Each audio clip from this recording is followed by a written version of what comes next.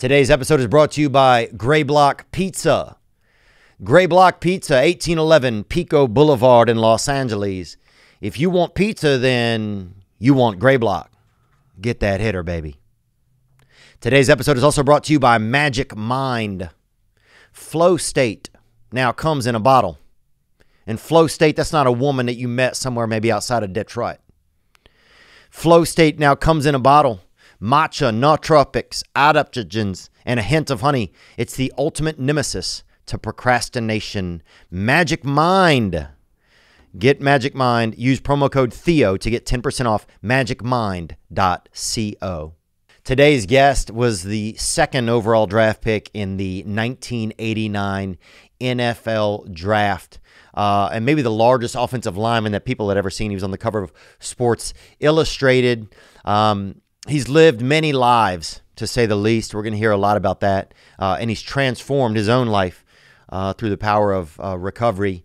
He is a retired athlete, um, motivational speaker, and photographer, Mr. Tony Mandarich. left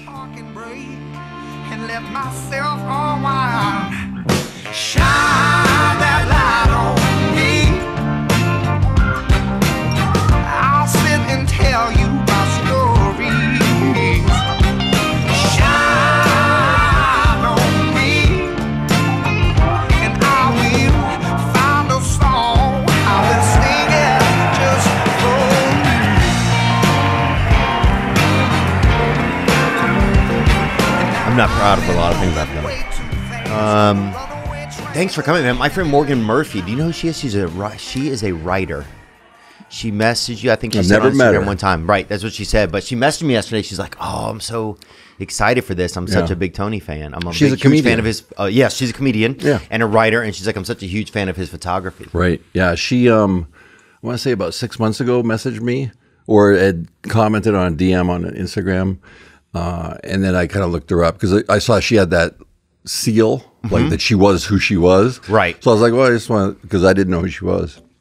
So I checked it out and I was, I was like, oh, you know, she's a comedian and she's been to, I think, Tempe Improv and all that stuff. And Yeah, yeah, she's a yeah. She goes over to the comedy store. A lot of where from I know her from, and then Yeah. she's written on a bunch of shows. But it was just, you know, it's just interesting the people that will reach out when you have a certain guest coming Right, on, right. Right. And it always, uh, it always surprises me. Yeah, I told Um, her if she's ever through Phoenix. To Yeah, that's what she give me a said. She's shot. like, she just hasn't been, I guess. that's what she said. She's like, tell him I, I- I plan on on seeing him at some point. Cool. Um, yeah, she's wor- definitely a worthwhile. I mean, a lot of people are worthwhile hanging. she's one Yeah, of them. she seems very straight up, very authentic. She's a cool chick. Yeah. and or cool whatever she is, man. I Person. mean, I know she's a Person, woman, but yeah. yes, cool person. Um, LBGTQIN. yeah, everything, bro. I don't know what Don't letters to say these My days. My friend juggles now, and he said he feels left out. So I want to call him the alphabet. yeah, I know. dude. and that's not referring to her. I'm just talking about.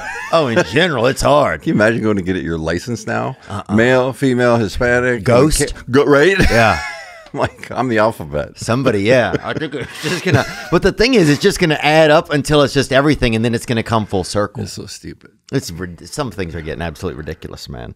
Um, you live. Where do you live these days? I'm in Scottsdale. Oh, nice. How do you like it over there? I love it. I've been there since 04. Oh, Okay. 04, 05. And what spurred the move over to there? You know, it was kind of. I had a golf course in Canada where I grew up, and it was family owned. I owned half of it, and I was just tired of. You know how family businesses can go awesome, or they can go hmm, not so good. So, it didn't go like really bad, but it wasn't like I wasn't. I guess receiving what I was promised I was going to receive. Okay. So I was kind of like, instead of making a big deal about it, I'm just gonna get out of the business. And instead of giving them a two week notice, I gave them a nine month notice, Okay. just so you know they could figure things out and stuff. Oh stuff. yeah, and- like a baby. yeah, right. I mean, it's plenty of time to figure stuff out. Yeah. I'm not just gonna leave them hanging. So I like literally sat at the kitchen table and I was like, if I could do anything anywhere, where would it be? And it was photography, and it would be in the Southwest. Although I didn't know if I was going to go Nevada, Cali, uh, Utah, or Arizona. You know, I, think Arizona was the pull for some reason, probably because of Sedona. Yeah, even though I, got- I mean, I'm only an hour and a half from Sedona. A lot of seancers up there, a lot of yeah, a lot of a lot of um, crystals. Yeah, yeah, a lot of crystals. Oh, it's it's not crazy in Sedona to drive by a woman's house and see her charging her crystals out in the in the yard. Right, You know what I'm right, on a right, full moon. Like, right. oh, she's putting all she's wheelbarrowing them out there to charge Yeah, up. yeah. yeah, Yeah, it's um, that's natural. it's probably my favorite place on the planet. But the crystal stuff, it doesn't even freak me out. It just makes me kind of go whatever. Yeah, Then that's, yeah. I'll that's not I'll a diss, right? I'll honk. I'm like, cool, right? Whatever gets you through it. exactly. What it really right. is. Because what works for me may not work for them. Yeah. Right. It's kind of amazing how there's so many different like um whether it be relics or uh deities and there's so many different avenues for people to find uh comfort. Yeah. Yeah. I mean, yeah, there is. There's, and then sometimes they're like, I do, a, I used to do a lot more than I do now, but I used to do a lot of ritualistic things. I, maybe I shouldn't say ritualistic, but just stuff like I would always tie my left shoe before Mm-hmm. I would tie my right. I would always put my left shoe on before my right shoe, like before Yeah. a game or just in day to day living. And then I forced myself to break that. I just said, I was like, "Fuck it. These are just I'm going to live wild on the edge. I'm going to put my right shoe on first. Oh, yeah, yeah. And I was like, oh, nothing happened today that was bad, so I'm good. you know, I'm gonna tell yeah, I'm gonna put this Right. around my neck. Um, so you uh you started you so w- was it hard to leave Canada when you left Canada? Was it tough? when I left the golf course, When you when left, went yes. sc- left for school. When you left uh, the golf course, when you kind yeah, of like, it was. It was. Canada's awesome. man. It's freaking awesome. I love it. I mean, you know, I, I, uh, you know, I grew up in Canada till I was 15, and then my senior year of high school, I went to Ohio for the sole purpose of, besides the obvious of graduating from high school, but to get exposure, to get a scholarship to a major American college. because it was easier by if you were in the states. Yeah. And then it just so happened that the high school I ended up going to was in the same town as where my brother was going to college at Kent State. So he would become my legal guardian. So like we had to go to court and everything. My parents had to sign off. Wow, and, they got you a home down there. No, I actually ended up living with my brother. Wow. On an off-campus apartment. And were you guys was that like kind of party central? Or you or were you so focused on that time at, at, on football? I was very focused, but there was yeah, there was some partying. Like I mean, there was it was the first time I ever got drunk. Was believe it or not, a senior high school. Yeah. I mean, a lot of people will it will surprise a lot of people, right? First time I ever dabbled in weed was for uh, my senior year of high school. yeah. So yeah, for so for some that would almost seem a little bit late in the Yeah, game. yeah, yeah. Um, what what is your height and weight now? What are you at now? I'm 6'5", probably about 265, 270. And what were you at when you were at your maximum beefed out? You know, butcher box. The heaviest I ever got, or the biggest I ever got, was like well, I was six six. I was an inch taller, but the compression gravity catches Oh up. yeah, and God will pull you back down. Um, Right, right, right. I'd be four foot one if that was. I'm, it's like one of those. I'm glad I didn't get what I really deserved. Right. Oh, totally, man. But um, Oh, I was like 333 was the big like off season biggest I got, and it was like just slinging weight around, heavy, but playing weight that was not a good playing weight. it wasn't a good playing weight. That's you right there. Damn, bro. K&AC you were damn shirt. romantic Remember K&AC? too. My God, if I was a shark and I saw you surfing, I'd Shit. bite, I'd bite you, bro. No homo, bro. You know, or yes homo. I don't know what they're doing now. But, Alphabet uh, soup. dude. What is it like carrying? Um, what was it like carrying that much body weight around? Did was there anything that that started to be different? I've used steroids in myself growing up, you know, Right. so I have some experience of what it's like to have a body that's different than like What'd you take? I took uh, testosterone and then some other things. I don't even know what they were. So, but you got like how did you gain like what 20 pounds, 30 pounds? Yeah, I probably gained thirty pounds. Yeah. So that's a significant amount of weight, right? Of muscle, mostly muscle. So you know that feeling, right? Well, here's the thing. In the off season, I'd be like 333 and just to put muscle on, put size on. It was almost like, I don't want to say it was like bodybuilding where they have an off season and they're putting on weight so they can cut down for a show. But I would try to do all my building and my bulking in the off season, my get all my strength. And then as the season got closer, and I mean like 16 weeks out, we'd start running. So it, you know, as you're running, it makes your it leans your muscles out, and it's harder to keep like that big bulk. Yeah. But a good like playing weight for me was like 310. Like I at 310, like I can honestly tell you at 310 I felt like I was 150. Wow. Like I, I could like run like it was I was like I could stop on a dime and like that's what I felt like. Yeah. And you know, and you step on a scale and you're 310, but I think it, it's like everything was so strong, like you know, your core is strong just from heaving all that weight.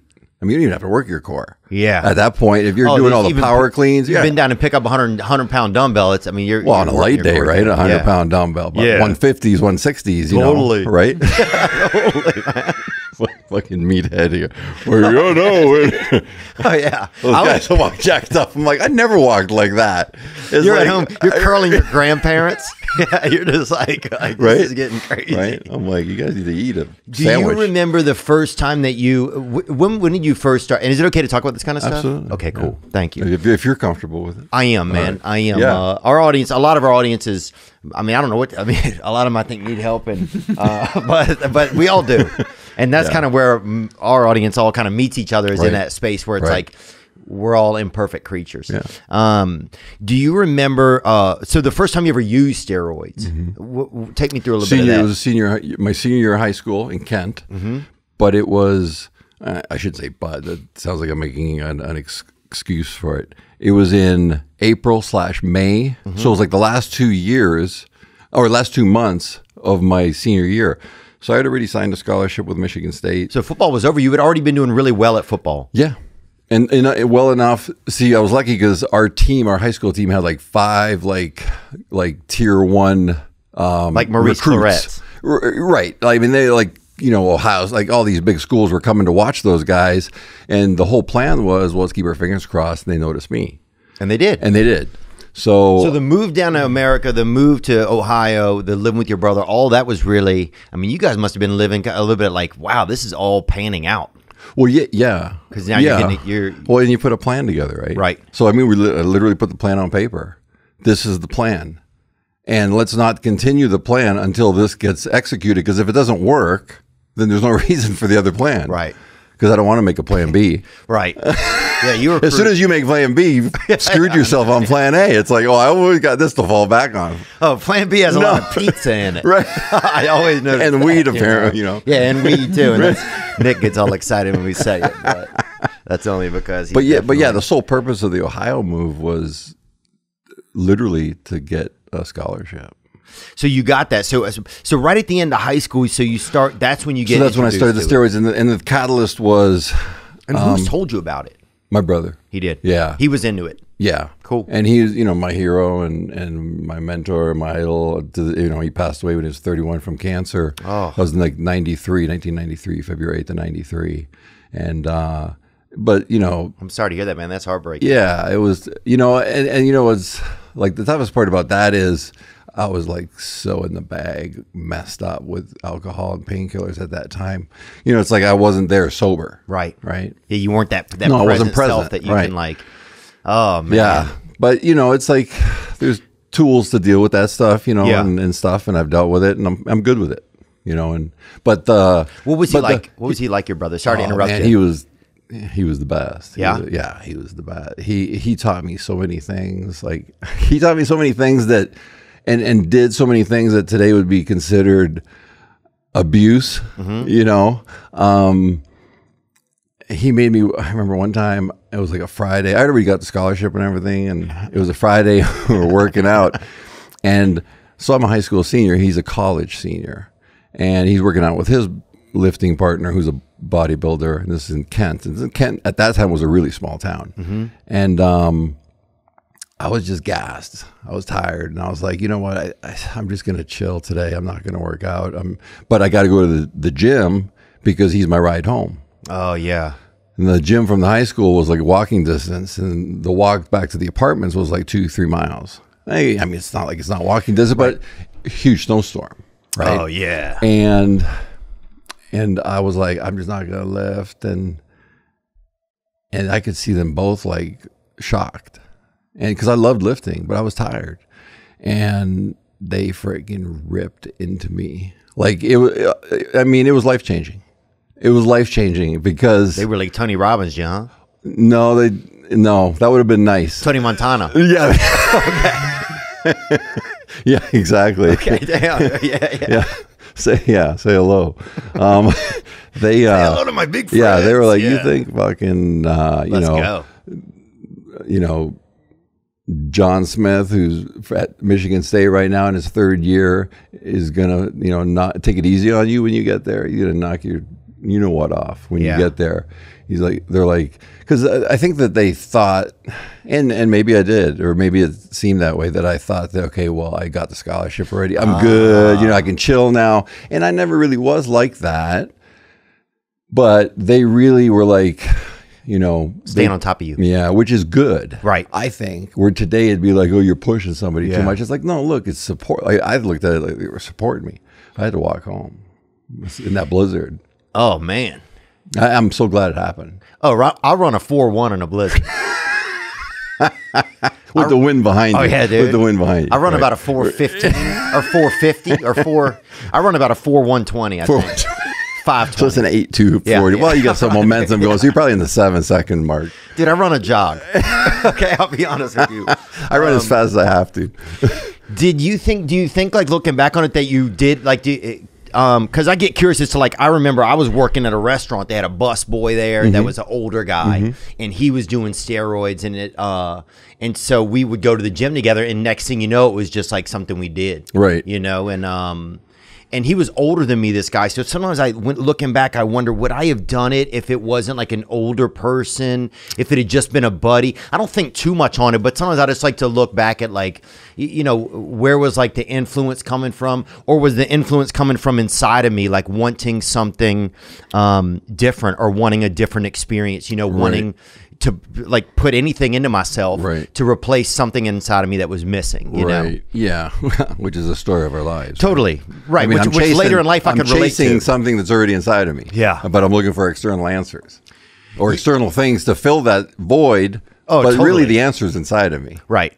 Yeah. But it doesn't feel like it is because it feels like there's nothing inside of But me. once you get sober, clear-headed, and kind of can start reflecting on life as you get older, Yeah. you that's when, at least for me, my experience is I start to see. I was like the dog chasing my tail. Yeah. looking for this, looking for that, and it's like the whole answer is like with me the whole time. Yeah. it's just like stop, take a look, slow down, you know, breathe. And Yeah. but the catalyst for the actual steroid taking was I couldn't bench 315 because that's three big plates on each side. Ooh, yeah. And but I could do 295 for like five reps, but I couldn't do 315 for one. So it was like a psychological block. And I got on like some really light steroids, and like within two weeks, I was like at three benching like 325. Damn. So I was like, oh, they definitely work. Well, we got on some Vietnamese shit one time. I don't even think it helped me lift. It helped me cook. It definitely helped me. Like I could run a dude. I'm not even joking. I could cook over a fire suddenly in my yard, but I could not fucking do it yeah, because we got some gutter steroids that came through, man. Like we got like bottom of the barrel stuff. Was it like top of it taped closed? yeah, it was like, it's like risky. it wasn't even sealed and stuff. You- Bro, I remember one time we all went to Mexico on a class trip. Uh-huh. So we came back. Literally, people would buy steroids and then put them in shampoo bottles, just kind of rinse them out a little. No, and Oh. just pour it in there. Oh, my So God. then, for like people are just pulling up at this dude's house and just syringing out of this, you know, head and shoulders. Unreal. You know, and that's it. I mean, it got you. It got you both of those. Not quite pharmaceutical grade. Holy smokes. But yeah, we had some of the cleanest Yeah. muscles in town. I Right? will say that. Well, you're willing to go to any lengths, right? Oh, totally, That's man. the question. That it's like, I really was. yeah, and so was I, and I am today too in in certain areas of my life. Yeah. But it was like, I'm gonna do whatever I got to do to be the best player I can be, within re- like within the rules. Right. But steroids were breaking the rules. So those were within the rules of the time. No, no, they were breaking the rules. Oh, they were. Yeah, they were. So and so I, there was a day where I had to make a conscious decision. It's like I'm not going to kill. I'm not going to sit here and lie to myself because I wasn't like hooked on painkillers. I wasn't drinking alcoholically or nothing like that at that time. I was like, is it worth it? Hmm. And, it was. And it, I, it was, yeah. I mean, Yeah. looking back Oh, at totally. everything, and and you know what? It was worth it. And the least amount of that worth it is monetary. Even though it made mil- it, it helped me make millions of dollars. Right. the least the greatest worth and value in that are the lessons learned in life from taking them But at the time, you didn't know that, though. No. Right. But I had to make a conscious decision on will I ever look back and regret and saying like what could I have been? Ah. You know what I'm saying? So I was like I'm going to go to any lengths plus and this is not to like I'm not like blaming anybody, but the atmosphere was like, you know, the end of the 70s it happened. So this was 1983, 84. So who won four championships in the NFL in the 70s? Steelers.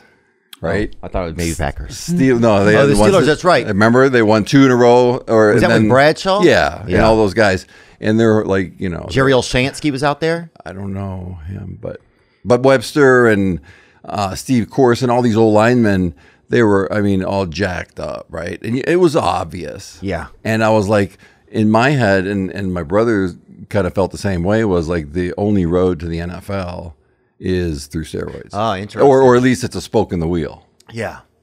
And especially, I think as a white guy, you got to get a, you got to get on something. You know. For what? I mean, just no, just oh, I think no. You just got to get. If I'm a white guy, I'm getting on steroids to play anything. Listen, can you imagine if you if someone had a drug for that? Yeah. Oh man. Um, how rich they'd be? Oh yeah, to make your penis bigger. Well, hell, we sell them half of our ads. That. so yeah, they're trying. Give me some samples before. You... We got. I'm sure we. no, but it was it was like when I say this, I say it literally. Like, Mm-hmm. um, I try not to be in too much gray area because that's kind of how I lived my life. And as the older I got, I started to realize I thought I had to be in gray area somewhat, but it's not. It's just being more tolerant and flexible of the way other people are. But I, I can make it crystal clear on what I'm about and what I believe in and what I don't believe in, um, and then all the variables in between. So I knew I was taking them. I knew it was wrong. I knew I was breaking the rules, whether I was taking pills and injections or both right. but I was like, I'm gonna, you know, their testing was so mediocre, Yeah. and you know, I think that I became kind of like a red flag to the NCAA because, um, like we did them well, Right. Or I should say, I did them. I did them the correct way to get the most out of them, Mm-hmm. and I didn't like I held nothing back in the in the training. And that was whether it was running, whether it was lifting, doesn't. And it, Oh, I see. You like- didn't try to mask it. You almost didn't even mask it. You were doing them. You just hit Right. from the test.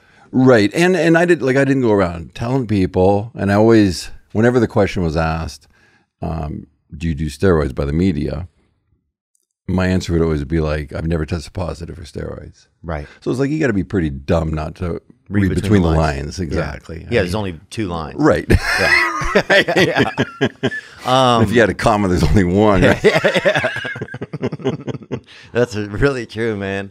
There's uh I remember one thing that got me I remember about and it, I've just we haven't had anybody in here I don't think that's ever that has ever done steroids that I knew of so it's like it's just for me it's interesting to talk about cuz we talk about it on the podcast Yeah. sometimes over the years and um so I remember being in class one day, and some kid there was a new kid in class, and he thought I was going through the hall- the the aisles picking up people's papers or something for the Right, teacher, right. And he thought I was the teacher's husband. And I think because I'd been doing, st- I was suddenly Oh, like stronger. and Yeah, jacked. I yeah, yeah. just looked stronger right. and you know, and I just the you know at that time the thought that somebody would would you know that I would be married to somebody that knew first of all that even knew mathematics as well as this lady did. You know, like it almost just was flattering. You know, Right, like holy right, shit, dude, you think that's my wife? That's pretty I cool. like it, the older women, Yeah, right? she drove here. You know what I'm saying? Right. Like this is a real lady over there. Um, but I just remember that one moment that's like. I don't know. I just felt like people saw me. I just felt more confident. I felt stronger. My, I just, and right, right then, man, those feelings were feelings that I never had. Are they good or what? Oh, Right. bro, they were so good. Right. They were so good. And then, uh, But you also did the work. You also worked out, right? oh, I was, we, we worked out all the Right. time, and I, you know, dieted properly. Yeah. And I, you know, you would get on milk thistle and all these Yeah, yeah, bootleg yeah. things you would hear about to kind of t- take care of yourself. Um, but it was definitely like it was interesting how I went from if you'd have asked me two weeks before, would you ever do steroids? I'd have said no way. Right. But then suddenly I was over a line. Right. And for me, in a lot of my areas of life, that that that became something. Sometimes I really don't want to look at the truth. That there's a lot of lines that I've crossed in my life that I probably wish I hadn't. You know, I remember thinking, oh, I'll never hook up with a married woman, you know, and then cross that line. Just Mm-hmm. Right, like right, right. things, things that like, like where you're saying like setting kind of boundaries or where, where, who you are and things that you do, will and won't do. Right. I had those things, but I always went past them and then then 'em, yeah. would live and still probably live with a ton of the shame from a lot of it. you Right. know? and that's you know and a lot of the stuff you described i mean you're it's like were you following me around right, it's like you know like like everybody's done stuff that where they've kind of set their boundaries or these are my code of ethics like Right. my personal code of ethics and then you know you cross them and and you know i think when you're younger I, I, at least the majority of the people I've encountered, as far as friends and stuff, the younger you are, the more kind of like, ah, screw it, it's okay. The older you get, the the road narrows, and stuff that you could do a couple years ago or five years ago that were maybe not the most ethically, you know, Right. Be a man, stand up and be a man, like kind of thing. Because standing up and being a man today is not about how big your muscles are. Yeah. It's about doing the right thing It's changed a lot. it's changed a lot and and i think i i think it's changed for the better even though we're in a present circumstance of debacle It's Oh, been such a great year to watch people and Oh, how yeah. messed up people are and and and to be like man i just want some toilet paper and it's not even a shit disease right. right? And it's like, why is everybody hoarding toilet paper? And I was like, I, like six rolls will last me six weeks, seven Yeah. weeks. Oh, I'm good. Yeah. right. It's like, but there's not on the. There was what in March, April. There was like nothing to get. Yeah. It just, it just, it was interesting to watch people panic because, you know, you're sober, I'm sober, so we know, like, in a way, like I feel lucky that I had a, a lot of hardship mm-hmm. because, and the reason I feel lucky is because I've put perspective on it, and I've also, the tragedy would be if I didn't change it, if I kept living that way. Well, that'd be the tragedy, right? And but Right. I, it gave me perspective to change it. So my four years in Green Bay were a train wreck.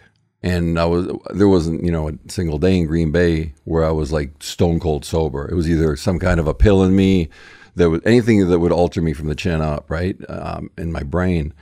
Where I was drinking or I was doing something. Now that doesn't mean I was sloppy down, falling down drunk drinking, but Right. I would need a drink to stop the shakes and then go to practice. Wow. Right. Well, it's kind of hard to pass block in the NFL.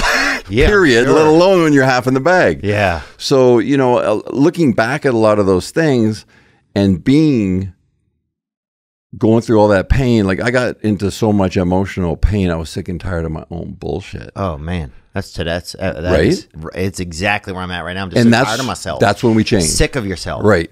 Like literally, yeah. people are like, "What are you on?" And you're like, "I'm on myself." Right. And it's fucking killing me. Yeah. Like it.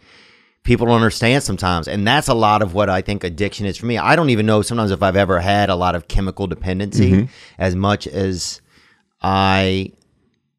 The way I'm feeling affects me so heavily Mm-hmm. Right. like it's a drug like Yeah. to the point where it's like and then i become addicted to it Right. and at the same time suffering from it Yeah. and i think people sometimes can't understand some of that like what it's like to feel that way You're right. and it's and they're like you're a wimp or you're this man it's like you think i don't want you think i want to feel this way every day when i wake up you think i want to be angry or be Right. miserable or you know like I, no this is something is happening Right, to me right. and it's hard to handle Right.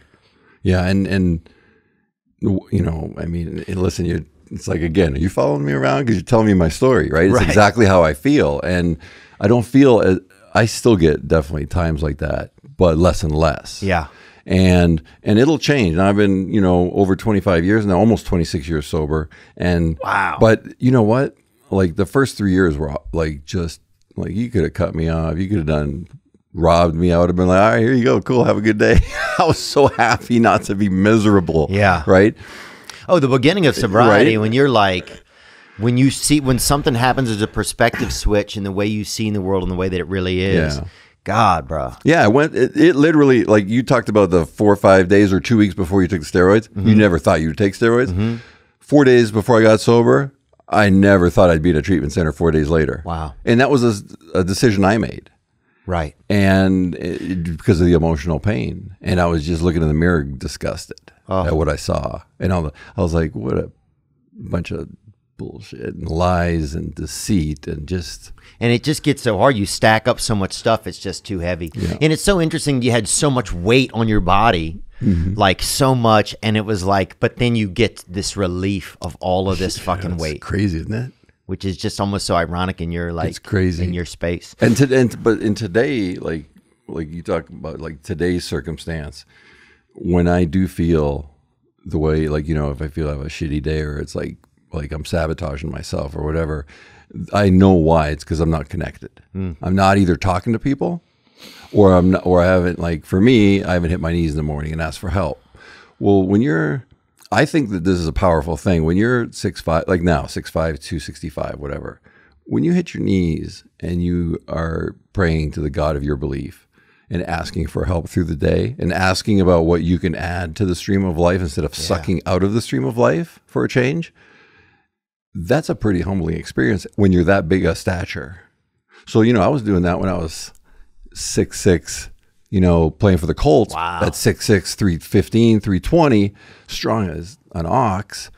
And it's a, it's a very humbling experience knowing you're knowing how powerful you are. Right. And I could make stuff happen. Like I can make things happen by the old phrase, just grab the bull by the horns. Just make it happen. If you got to step on people's toes, do it. Just make it happen. It's like, I don't care how you got to block this guy. Just don't get a penalty and block him. I don't care if you got to take his knees out, whatever, right? It's like go to any lengths to protect your quarterback. So it's it's kind of like that, but it's like you know, it's when you have that stature, that size, that power, and you're in the weight room slinging weight around and all this. But in the morning, you know, when you get on your knees and ask for help, that's a humbling. It's a humbling act. Yeah. And, Yeah. and and you know, it's like it's basically saying, you know, I can't do this by myself. I tried and almost killed myself. Yeah. Almost killed myself trying. Yeah. Because I'll never forget when I'm in the treatment center in Detroit, and it was no fancy treatment center. So this was the and this was the first time you ever went into treatment. first time ever. So you went in and got it. yeah, I'm not gonna do it again. Right. Yeah. um. And uh. Okay. Take us there. No, the girl, the girl, the lady counselor. It was our first like small like ten people session Mm-hmm. with a counselor, and it was all our first time with this meeting. And she goes, um, "So before we start, she's like, and this isn't pointing anybody out. She's like, this applies to everybody. She's like, just before we start, I just want you all to know that all of your best plans of building your empires and building everything." Got you here in this treatment center in Detroit, Michigan, and I can see like I eight, you know, I ninety or whatever it is going by in the interstate. I'm going, "Fuck, she's right, and I was like talking about a Louisville Slugger coming across your forehead, going, holy shit. That reality. Yeah. Yeah, I mean, funny now Mm-hmm. wasn't funny then, Yeah. but I'm trying. know, I'm trying to think of some of those first moments that, you know, whenever I went into the rooms, because mostly I learned about recovery through my family. My I have a, siblings that are you know in and out or been in the program, and Mm-hmm. um, and probably my father. I mean, I think so many people struggle with addiction to different things. Yeah. But I remember getting.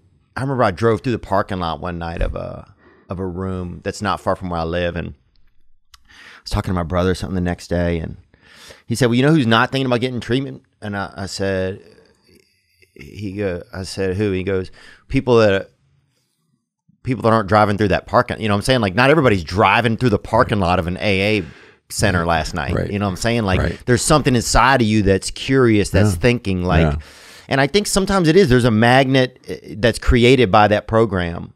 Um, you know, last night I went to a meeting and I went over to a buddy's house and uh, and I got there and I hadn't been in probably like three months to his meeting and um, it's just like six or seven guys sitting outside by a fire. right, And I get there and suddenly like I walked around the group and just hugged like every guy there. I know them all right, and it was funny because I just had the worst day, and I get there and uh, and I was like, man, I didn't know that I was gonna hug all these guys when I got here. I forgot that, and they were all so excited to see me, like each individually. We right. have our own little right. relationship, and like sure, I just I'd forgot that all these guys cared about me, and I forgot that I cared about them. Like it's just like like camaraderie. yeah. And unless I uh, like the half life or the residual effect of like care, it doesn't. The shelf life isn't long inside of me for some long. It's you know, it's really. It's almost like the shelves are like at an angle, and when somebody puts care on them, they just slide. It just. And I don't know why. I think it was just the way the shelves were built or something, you right. know. But uh, it was just crazy because next thing you know, it was like the best moment of my day. Right. And all these guys I was like, man, I always feel like nobody cares, but these guys care. They all care, and I care about them. And I just for it just it doesn't stick to my ribs like I wish it would a lot of times. So that's why uh-huh.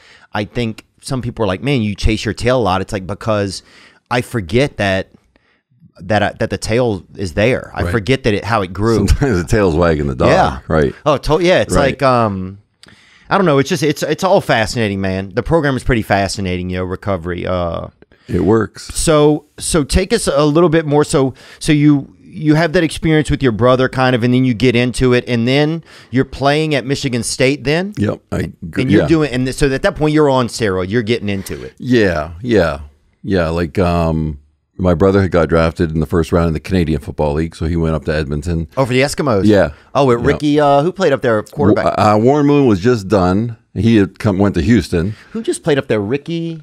Uh, He well, just played a few years ago, six, seven years well, ago. I couldn't tell you six, seven years Okay. ago, but it was Dunnigan. I think was the quarterback. Matt Dunnigan was the quarterback when my brother played there. But um, and then you know that year he got drafted was the same year I went to Michigan State Okay. because he was already done with Kent State. So was that pretty? So was that tough when he left and you're still there, or it was at that point you were off? No, and we kicking? sat down and we made a new plan. Dang. because it was like, all right, this plan is executed. Now let's make another plan. And then, so we made a general plan. He reached his goals to get drafted. He obviously wanted to get drafted in the NFL, but you know, wasn't you know, I guess It's a nicer league demand in and- Canada, though. They apologize Yeah, after sacks. Right? like pick a guy up didn't and hear stuff. that. Yeah, sorry, man. Here they're like stepping on the guy's throat. Bro, Canada, somebody will come across the street just to apologize to you. They didn't even do anything. Hey, you ever been to a Tim Hortons? Oh yeah, Those dude. good or what? Yeah, that's really, that's really good. Cake donuts and stuff. they're really It's like you can get a meal there. I was like, "Uh, what'd you have for dinner? Eight chocolate donuts. Aren't those fluffy? No, they're like cake donuts. They're good. Timbits, you know, those little Timbits, Oh yeah, like dude. donut I've holes. had those. I love going into Tim Hortons. Every time I go, people are like, "What do you like to see in Canada?" I'm like, "Tim Hortons." You know, they're all a little right. different. Right, right, right, right, right. Yeah. Oh, what's that on the roof? A reindeer, maybe. What is it? Oh, that's your stepdad trying to do a breaking and entering. But no matter what, the holiday season is here, and holiday shoppers are buying more stuff online than ever before. Man, it's crazy. If you're an online seller, now you might be struggling to keep up. It's a pain in the butt just, you know, having to get each order and process it and oh my god, where are the labels? That's why you need to get your ship together with ShipStation. Which shipping carrier should you use? Well, ShipStation is the fastest, easiest, and most affordable way to manage and ship your orders. In just a few clicks, you're managing orders, printing out labels, and getting your products out fast. ShipStation works no matter where you're selling through Shopify, Amazon, eBay, even your own website. ShipStation brings all your orders into one simple interface, making them easy to manage from any device, even your phone. ShipStation works with UPS, USPS, FedEx, even international. No wonder ShipStation is the number one choice of online sellers. And right now, this past weekend, listeners can try ShipStation for free for 60 days when you use offer code THEO. If you're running a business and you're managing the orders yourself, get some help. It's free. That's right. Go to shipstation.com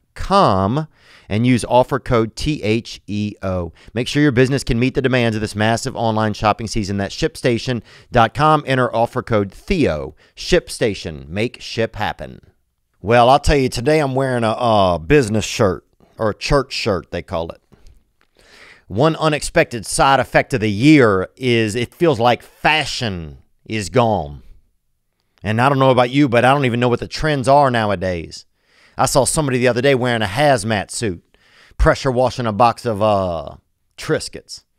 So, what the hell is that? What I'm telling you is do what I do. Don't buy for now, buy for forever. For timeless pieces that will last a lifetime of wear, check out Faherty. That's right, Faherty makes high quality, comfortable clothing for life. Sustainably minded, designing products with a thoughtful focus on fabric. Every piece is made to last a lifetime. That's beautiful. You could give it give it to somebody when you died. You died, give it to somebody. Have it at the funeral. A little to-go bag. There you go. There's a sweater, Faherty. Firetea is committed to community and the environment in all that they do.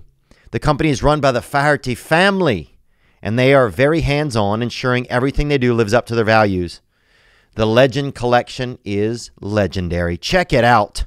You want clothes that last. Enough of this junk, enough of this rigmarole. Buying forever is the smartest way to shop, and now is the smartest time to do it. Right now, you can get 25% off your next Faherty purchase when you do fahertybrand.com slash Theo.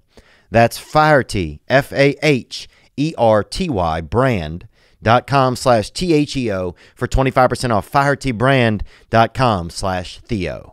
It's uh, Um, We had a question that came in. This is a question that came in from a young man right here. About your time at Michigan State, he had a kind of a long preamble, so I'm gonna. for Tony is um, well, first of all, I grew up in East Lansing, so I'm familiar kind of with the incredible bulk, the folklore, the story of the incredible bulk.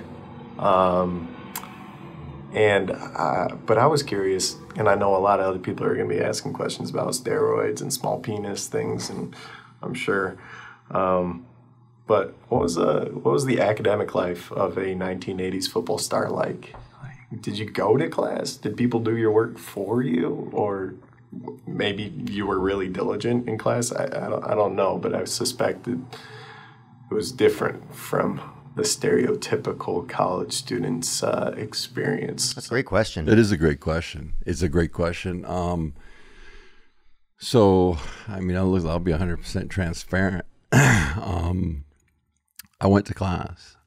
Um, I, I didn't. I didn't graduate. I was like 12 credits short of graduating. When I, and then I moved to Cali after the Gator Bowl was our last game, and then I, I would have to go through spring semester and graduate.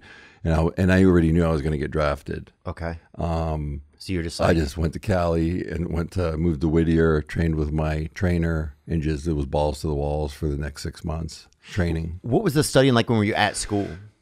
You know, it was, th- um, you know what? I guess I'd be lying if I said there was no favoritism because there was there wasn't favoritism. Favoritism is not a good word. There were certain things that were made just a little bit more convenient for us, but it's really at the end of the day, it comes down to what you make it.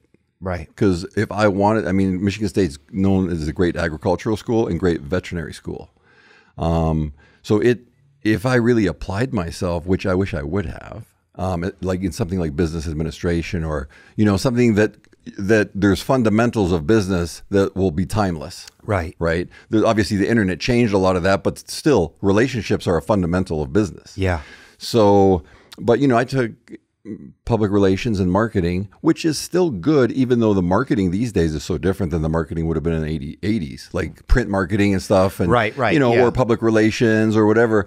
But that also Oh, did help me. changed, yeah. but that did help me with a lot of the, you know, PR stuff with interviews and just, you know, stuff like that. Um, so you were going to class some. Yeah, I mean, we had tutors at our disposal, Mm-hmm. but you know, our like my day would start at seven a.m. and but you know, you have to be at practice at three, and I'd have classes all the way up to like about an hour and a half before practice. Uh, classes all day before practice, and then you'd practice for two hours, and then you'd have to watch film, Mm-hmm. and then they'd have study hall, mandatory study hall at the football facility. Right. So they'd have tutors come in if we wanted them, and there'd be tutors available. And then, um, or you could just stay in study hall, like it was mandatory by the coach. And were you a prize pig at this point? Were you like one of like the heroes on the squad? When I when I went there, Yeah. no, I was I was just one of the guys in this class. There was some studs that came in my class. Did y'all ever play against Rudy from uh, that movie? no, we ain't that old. Yeah, good. I can't remember who they played. Notre. Dame. That was Notre Dame. He Yeah, played for was- Notre Dame, but we played Notre Dame every year. Yeah. But no, he Wow. was he's he's probably ten years older, the next generation. Um. So, So the academics were not. I mean, it wasn't like uh, there was no like no freebies given. right. You know, there were some.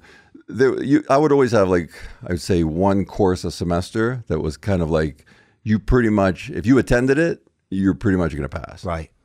It almost sounds like anybody's college experience. I mean, I remember going in like the Greek kids always had all the tests mm-hmm. somehow. Right. Right. Like that was insane.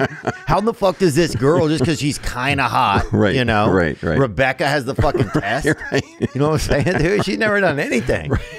But it was crazy. So you Right. have like people really studying, and then you would just go over to somebody's house the night Right. before, and they would have the same. It was just college. Sometimes was crazy. I got remember getting paid by a coach one time to write uh, papers for some of the players. Even um, so, I think there's always been some of that in school. You know, just like uh, that athletes get help. Yeah, They get as- but I think they should because their time is taken up.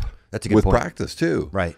And so that being said, their time is taken up with practice. Plus, how much revenue does that sport bring Oh. into that school?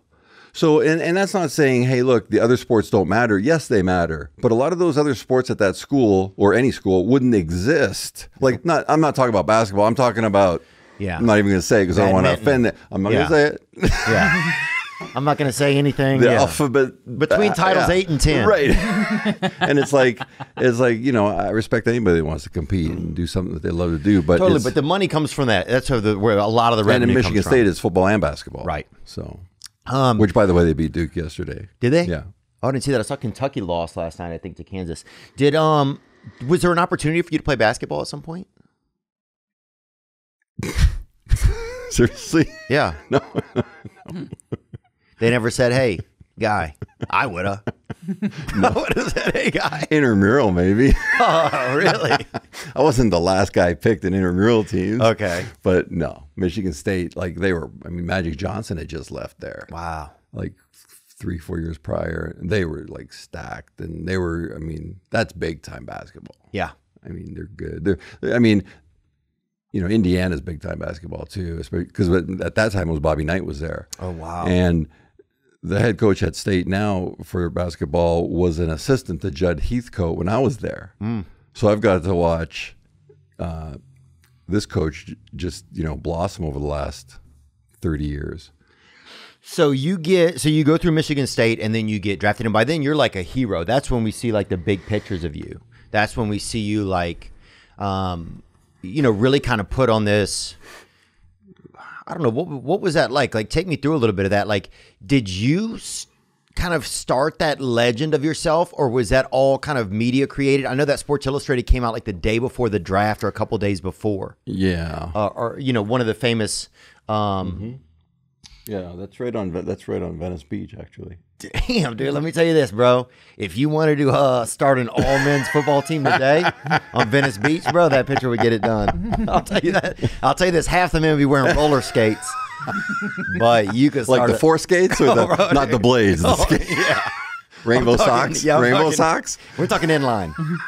We're talking inline, but out of line. You feel me, Daddy? Um, so take. I mean, because you like that that image right there, especially for people that are looking at Sports Illustrated, like that's the thing that comes in the mail where it's like, okay, I didn't know about this guy, Right. and now I know about this guy, and then I go to the water cooler and I'm talking about like I've known about this guy forever. Right. Yeah, it was like a phenomenon. It was it was it really like it was almost overnight like that. For me it wasn't like any different. Like I was like working my ass off every day to be the best. Like, Right. I woke up like literally every day being like what can I do today to get myself better? And were you doing steroids that whole time? Um when I was at school? Yeah. Yeah. And did you feel like um do you did you ever I guess did you have the like were you afraid to probably get off them at that point? I would be afraid to get off. Well, I mean, I, was would- just going to math I class. I, was afraid to get off of them. you were collecting papers from Oh, dude, students. you were married to the teacher oh, bro, crazy. Um, you know, yeah. I mean, if I had my preference, I would not have got off of them. But the, you know, the NFL's testing was way more uh, sophisticated. so was that scary? Then you're getting drafted, and you know that like it. You know, it wasn't as scary as you might think, and this is why. Because I've I've looked back at this in my life, and every time I took steroids and then got like if I got on for twelve or sixteen weeks and then got off for uh, twelve weeks, then got back on, I would lose about 10, 15, maximum twenty percent of my strength. Well, and then you know, so every time you cycle, you compound that strength, and keep, you keep getting stronger and stronger. So when I got drafted, I mean, if you're benching close to 600 pounds and you lose 15 or 20 percent of your strength, you're still pretty strong. Yeah. and you're still pretty much stronger than a lot of the guys in the NFL. So really wasn't that much of a concern. The psychological effect of steroids are, as well as they work physically, the multiplier on the psychological effect, in my opinion, are at least five to tenfold. Um, like you know that feeling you were talking about earlier, like when you feel like yeah, Yeah. like, and then then you don't have that feeling. Yeah. right? And you're going to another level. Oh, that would be to me. That's almost it, it give me anxiety right now hearing you say that. Like, okay, I'm walking into this place, and suddenly, Right. like some of the wet, the sword is my sword's different. Right. And all the expectations, all the shit talking I did. Not on steroids anymore. Still all the accusations. I was like, you know, and I was like, I'm definitely not going to do steroids because it's going to, everybody's going to be like, see, he told you so. He tested positive. Right. So, but you know what the, the thing was? Like, that, there was definitely, that was a spoke in the wheel. But everybody was like, no, that is the reason, the only reason. And it was perfect for me because it was like there's so much distraction. They were focusing on steroids. I was over here taking 80, 90 painkillers a day, conning all these pharmacists and doctors. That's crazy. So it took kind of like the thing, like the concentration away from something they didn't know about because they kept saying steroids. Well, I was half in the bag all the time. So at this point, this is when you start to realize you probably have some uh, addiction issues. Are Yes. you, looking back, it's easy to see it, but were you able to see that at the time or not really? Um, my fourth year there, third or fourth year there. Well, actually, my third year there, I knew it was mainlining pharmaceutical painkillers. That was the problem. Wh- When in Green Bay, you mean? Yeah, Damn. I knew that was the problem. So I'm just gonna switch You're in livestock country too, just- you're getting good shit. you know what I'm saying? Like, So, we- you're talking dairy stuff. oh, I'm saying you're getting something wrong. I'm sur- I'm surprised you weren't making your own milk. You know? I probably could have. Oh, come here second on this ditty. I'd have given a minute. Jesus, like you wake up ready to work. You know, they stick that aluminum machine up on you. Oh yeah, dude. Yeah, I've had fresh milk right off of right off the animal. It's not that good. I don't think either. that's good. It's no. not that good, and it's, not- hot. yeah. that- It's really overrated in like a lot of the you know old school pictures and stuff you see. But um, Yeah. uh, and we don't have to talk about Sarah. I mean, I, I want to talk about your whole life. I, you know, I just know anything. it's, you know, I just know that it's interesting and it's something that I could kind of relate to. Yeah. You know, um, And the addiction, like, I never thought I had a problem with drugs until it came to the painkillers. That's because I was like, I like when you go through physical withdrawal, whether it's alcohol or painkillers, they're different types, but listen, it, it's pain, right? It's not a good, comfortable feeling. and you were putting it in your vein. Yeah, I was mainlining it right there with the, and see the mark, Oh, I could hit that vein, dude, right? with a damn dart. a little basketball. Oh, dude, I could hit that, hit that thing in a you could tell I was right-handed, right? Oh, I didn't need a tourniquet, Damn. right? Because I was all veiny anyways. But I knew that that was the problem. That's the rationalization kicked in, right? I know it's the main lining that's killing me. So I'm just going to switch to oral painkillers. Wow. Well, then you're taking 60, 70, 80, 90 a day. And what were you on? What were some different things you were on at the time? A lot of the basic stuff you'll hear Percodan, Percocet. There was one called Fiorinal 3 that I really liked. All three, I thought it was a movie. Yeah, right. That's uh, it's the that's not the sequel, but the third version. Isn't Wesley Snipes in that? You know, Fiorinal 3. How about this? Every year, I you do That's you, Jason versus Freddy, isn't it? Bro, you were on within myself, Oh, yeah. right? It was a dark, it was a dark neighborhood up here, and there were some dark alleys, boy, I tell you. But there was, uh, yeah, there was, uh, there was like, uh, if you're in all, like you, you, you probably don't remember this because it was before the internet. There was something called a PDR, Mm-hmm.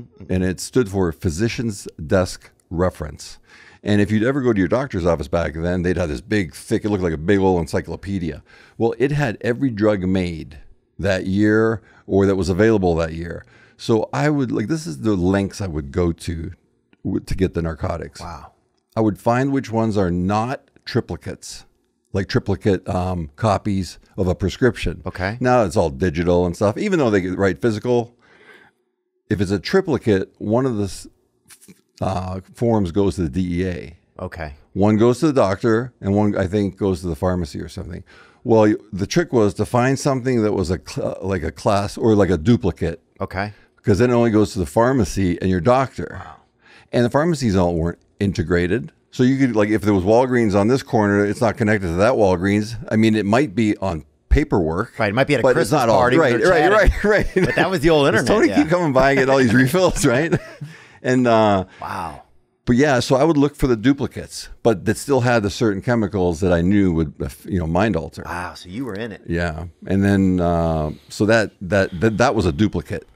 That injection, and it was used. It was mainly used for women that started labor, um, because they didn't want to numb them too much because they still had to push. Yeah. but it would give them enough of a, a relief to take the edge off the pain. So that was like for somebody like a drug addict, it's trying to you know it's perfect. Perfect. Easy yeah, I can still go to the bathroom, but I'm going to be fucked up. Right, Yeah. right, exactly. Do um, where was your head at at that point? So My ass. and there's stuff days sober, it's up my ass. how much? Oh, sure. How much? E- what was your ego like at that point? I saw because it's funny. I saw uh, the a David Letterman interview out there Mm-hmm. years, and it's hilarious, bro. You have so many funny lines in it. Um, Did you like my Theo haircut? uh, yeah, I did. I noticed that. I knew. I knew you were on your way. immediately. I was bro. representing. Yeah. This is definitely a sign that you're going to end up in recovery. Right. Uh, nothing tells you that. But this interview, I thought you were just so. First of all, I could feel a little bit of your nerves just because what does it have to be like for a guy like this to be? I mean, this is a huge show. Um, and then to be sitting there and you went toe to toe with him with a lot of great uh, comedy, a lot of great barbs. Um, he had a lot of great lines. What, uh, where was your ego at during this? Because I can imagine that this would get you probably you know your head would also start to gain size. Was that happening for you or were you just were you chill? I mean where, where was your vibe? No, the ego was starting to get out of control, and and this was, you know, I was the injectable painkillers were just starting, and I was I was at this time, I was on the tail end of living in California. I lived in Cali for nine months, and, and that's after the draft? This was after the draft. Um, before the season started yeah, because I held out till September fifth. oh that's right you're talking about your contract Yeah. in this because we were gonna because Tyson's people contacted Tyson's people contacted my people. That sounds so fucking stupid. but, but that's how it works here you have to have a lot of those people right. we all get it But you know the the cool thing was I loved Letterman growing up. I watched him all the time, and then you get this invite. You're going, "Are you freaking kidding me?" It's like almost as good as getting the invite to be on the show. Almost as good, almost as good. And because I was like, Theo, who? And I was like, I gotta check this guy out online before I answer this email. And I started watching, and I'm like, four hours later, I'm still watching all these different stuff. And I'm like, this guy's like legit. He's like Thanks, authentic. He's no bullshit. He's funny as shit, we're trying and he's sober. we're trying our best man You guys are doing it, man. I'm telling you. But yeah, I, I, I am really glad that you, that you uh, that you gave us the opportunity to be here with No, you. I Today. appreciate I really am, man. Um, so yeah, because it's just it's interesting, man. Like uh, for one, I'm surprised how easy it is for me to talk to somebody else that's in recovery. You know, like a lot, like a lot Hmm. Share of that. It's interesting. Yeah. It's like it's like a non-tangible. Res- it's not a. Res- it is kind of a respect, but it's like I know you've been through the gutter, and I know you fucking pulled yourself out of it. Yeah.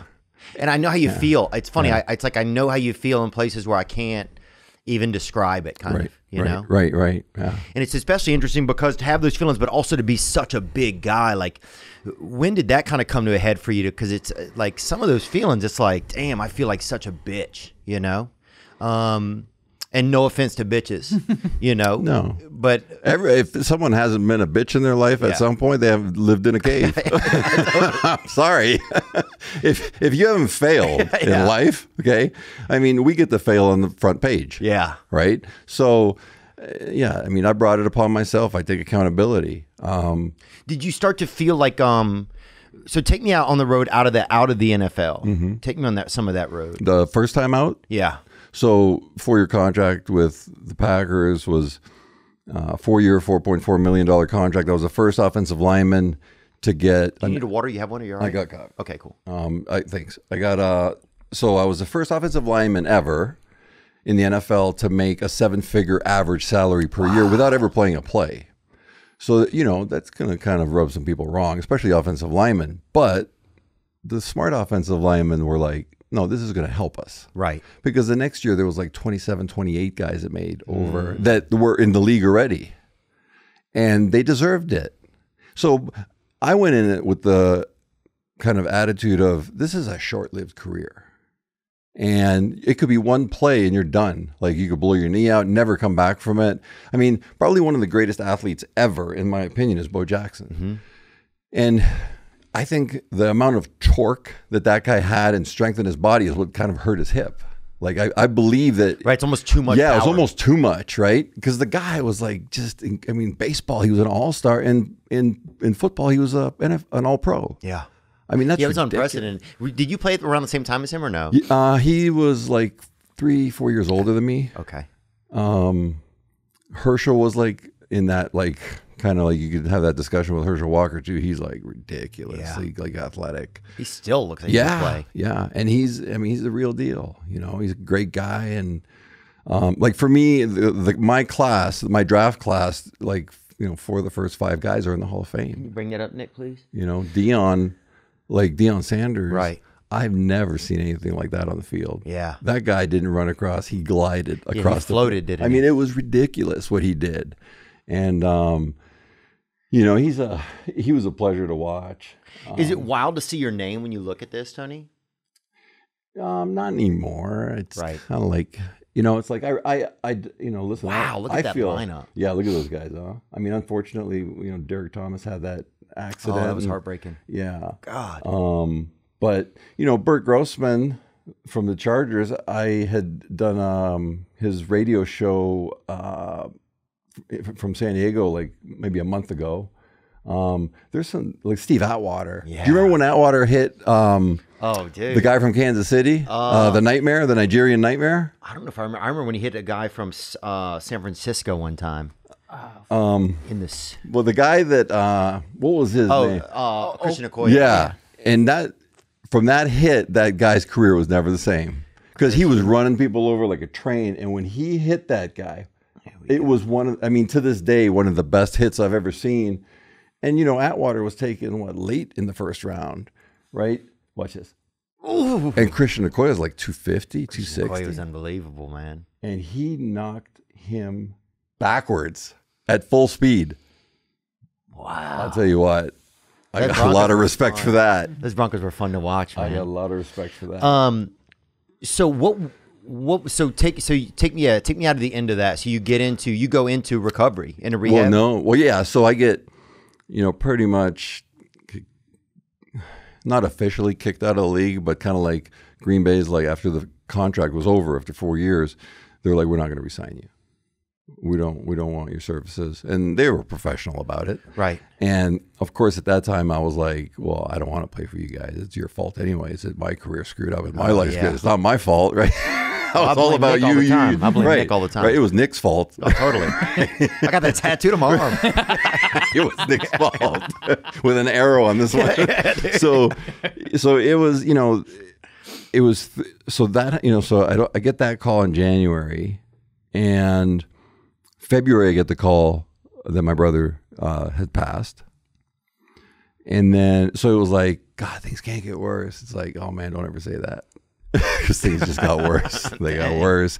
And I knew that, I mean, I knew that my NFL career with the Packers was a definite bust because of the my addiction problem and just my you know not being capable of doing what I could do before. I just wasn't capable. I don't think I could have worked at a, anywhere 7-Eleven and that's not dissing 7-Eleven or anything. It's just I wasn't responsible enough to show up.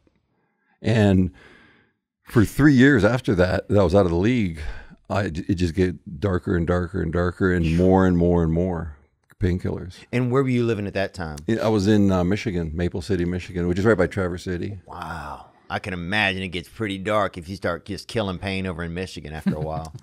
Yeah, Michigan's beautiful though. Well, Michigan's a great place. Michigan, I just yeah. imagine like in those long winters and those Oh, places. You know what I'm saying? Like I imagine was- that uh, coming around. It was a like- long summer. It was a long spring. It was a long fall. Everything was, everything was like, why do these bad things keep happening to me? It couldn't be me, could it? and you were just on a lot of painkillers, huh? yeah. And were you just like spending days in bed? Were you just like doing? I mean, were you Um, partying? Were you having? No, I was. Uh, I wasn't much for like going out to party. Like, I, I was like kind of like a loner drinker. I was married and stuff, you know, and, and we had a, a, a daughter, our first daughter, and um, it was. It was like isolated drinking, I guess. Drinking and drugging would be the isolated. I think would be the best way to describe it. I hated people Yeah. you know, because just guys, uh, they're going to interrupt my buzz. And I know I want my buzz perfect. And they're fucking watching this white Bronco go down the 405. and I'm in Michigan. I'm going, can you believe this shit is happening? Am I being messed up or is this shit really happening? Like, and, you know, it, it was. It was like a. It, it was like a. I mean, you're conscious, you know what's going on, but it's a blur. It's like a blur. Yeah. Yeah, being being messed up, that, that kind of stuff's a blur. Especially it feels like with pain with painkillers. I never got into painkillers, but the couple times I did, my friend got arrested, and I just woke up in my car. Right. You know, and so It just affects shit like people differently too, right? Like for me, like really a painkiller is a downer. It's a depressant, as is alcohol. But for me, when I would take a downer, like painkiller, like a opiate, I would get high, Mm. like like energy high. And I'd be like, let's go to the mall. Right. And walk around the food court and get something from every place. Right. Such an offensive lineman high. Not much has changed there. but but it, it, it was it was weird. But then, you know, that darkness sets in. Yeah. It's not good. It's uh, when the darkness gets that dark, you either get sober or you die or you die from it. Yeah. Or an or a symptom from it, whether you take your own life, whether you your liver goes, whether your heart goes, whether all the side effects. What do you think right now? I mean, you know, we had this guy Morgan Wallen on the podcast last week. He's a country musician, and we talked briefly about the side effects of this, all this lockdowning, and the inability of, like, I'm going to meet with a with a new sponsor later today, mm-hmm. actually, to go over to start doing the step work again. Mm-hmm. And we're trying to find a place to meet, and it's like we can't even meet anywhere. Like we have to meet at one of our houses, Right. which is fine. But if you're if you're just getting into trying doing the steps or something, like if somebody's like, "Hey, come over to my house," and you've never even met them, Right. Like that can be, you Yeah, know, some guys won't go do that, Right. And it just makes me like all the meet, you know, so many of the meeting rooms, even though some are still going on Mm-hmm. the DL, but like a lot of them being closed, and I just I. I I feel like we're going to lose more people from the fallout of addiction problems than we ever are from this that- silly disease or whatever, COVID. And that's just from addiction. What about just mental illness, right? Oh. Like like the suicides I saw, you know, a report. I don't know what to believe anymore what I see, right? Oh, it's like yeah. so warped one way or the other. But numbers are numbers, facts are facts and like there's a fourfold numbers are up in this one state of teenage suicides Hmm. From last year to this year. And it's like, well, what's the only difference? The lockdown, right? Yeah. And not no nobody in school. And it's like kids that were on the fence with maybe depression or with you know, kind of trying to figure out still who they are. It only took me like 40 years, but I'm still trying to figure it out. but We're but- slow learners, right? though. As We're long as we're learning, right? Yeah, As long as yeah. we're trying to learn. Um, so you know, a lot of those people went on the fence the other way and just took themselves out because they felt it was it was you know easier. Or Yeah. kinda- and it is easier. It's the easy way out. It's you know, and it's that's you know no disrespect to to you know people that are related that has had somebody do that to themselves because it's it's a, it's got to be a horrible feeling. I mean, Oh, I've man. had friends that have done it, and I and I just like my heart just bleeds for them um, because it's like, I mean, how bad does it have to get to do that? And it, you know, it's like, well, it did get that bad. You know, for me, it got that bad. yeah.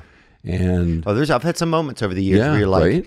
yeah, you just isolate enough where you feel like nobody cares, Yep. even though they do, but you, you just have, yeah, the worst conversation to have is with yourself Ah. in your head. it's like it's like it's a bad conversation. it's a bad It's conversation. a bad. It's like I got to run it by a lot of people. yeah, you know and and not there's like three or four people that i like trust my life with and i'll just be like what do you think of this? Am i out of line here? Is my is my ego getting into this or is am i being selfish with this or is this an opportunity i should take advantage of?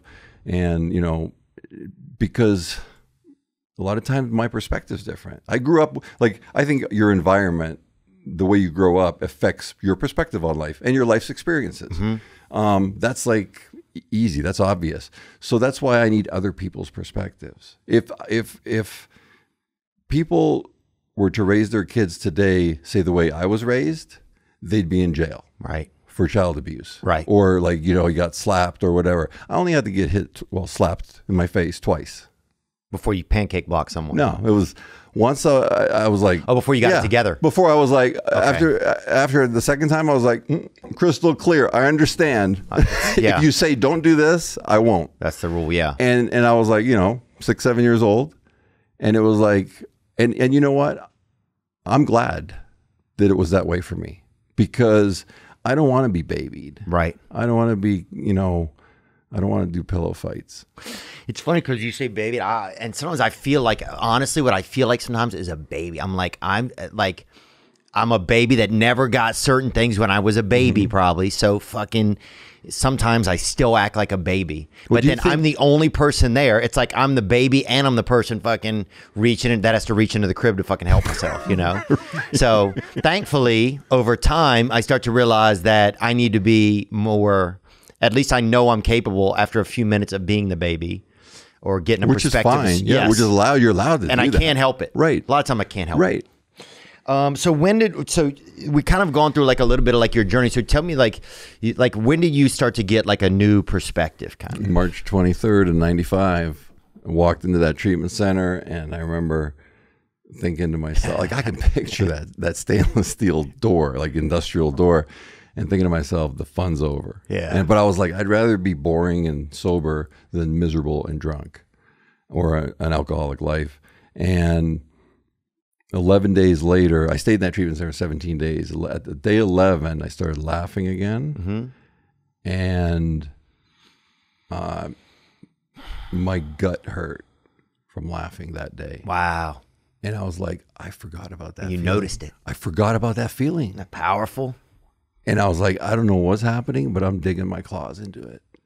And I've been laughing ever since. Damn. Even on the tragic days. There's been some kind of laughter, even if it's been internal, like amusement in my own head. Like, as you know, like we make fun of or poke fun of ourselves. Oh yeah. I don't have to sit and laugh out loud to be, you know, put things in perspective. But you know, even on days where my mom died three years or three and a half years ago, it was like a hard day for me. And and and and really, it was like the harder year after was harder for me than that week that you know that she had died and stuff. Because you almost have stuff to do that week. yeah, in a weird like way. I kick into like you know I got to get things done. There's responsibilities. I gotta you know make sure things are right. And then once you sit, you know that passes, and then you sink in, and then you're not buying that ticket to go see mom in November, like f- to see her for Christmas, because you're like, mom ain't I'm there. gone. That's when you're like, fuck. That's heavy. Um. So you so you went into there. You started to get better. Yeah, yeah. Like yeah, day eleven, started laughing again, and then Yeah, those little things, man. You notice I. I remember having uh, a thought that made me laugh. I remember just driving one time, and um, and I've struggled in and out over my five years in recovery, but I've never given up on on the program or or trying to, uh, you know, I haven't given up on that path yet in my life. Um, and I'm trying it new now, you know, trying it again. Um, but I remember, yeah, a time when I just was driving down the road and I laughed just by myself, and I was like, "Fuck, I haven't done that in months." Just the little things that were like, um, that you just came, or just like uh, I remember, I woke up in the middle of the night one night and I didn't have a thought in my head, and it was like, Jesus Christ, this is so nice. isn't that nice? the noise is not there, yeah, just like especially for someone like you. Yeah, well, it's like somebody started. It's like somebody left something plugged in that's rattling like forty years ago. and it's rattling all the And I can't find it. Put a twist tie around that thing, or something. No, I, I Um, it's that noise. So you had a second opportunity with the NFL. Yeah. Okay. Which I was very lucky to get because I burned all my bridges. I was I was thorough. I burned them all. I was like, I'm not going to burn one or two. I'm going to fry them all because it's all their fault. It couldn't be my fault. And so you know there was a huge paradigm shift once I left sobriety. It literally almost went to what's for. It went from what's in it for me to what can I pack into life? Hmm. What can I pack into? How can I make things right that I wronged? And then after I make some of those things right, because some of them you can't, then how am I going to live? And am I going to be adding on a daily basis to life and participating, or am I going to be sucking and conning people, like sucking out of life and conning stuff out of people? And you know, because then it's like it's like that. You know, you've, I'm sure you've heard that analogy of the so the drunk horse thief that you get sober. You get a, you know, if you get a have a drunk horse thief that steals horses and you mm-hmm. sober him up, what do you have? Mm-hmm. You have a sober horse thief. He Right. still steals. He's got to change. He's Right. got to change. And so I, I knew that, okay, the, the chemical part was changed, but now I had to change. And that paradigm shift happened kind of naturally just from the removal of chemical of what's in it for me to, holy shit, like I did some fucked up stuff and I wronged some people. Right. and so I you know made those amends over. You know, most of those amends were done over the first two years, and then the one of the bigger ones with my dad um, wasn't done until the four year mark. But it was done, and it was it was you know necessary. It was What was that like? well, you know what?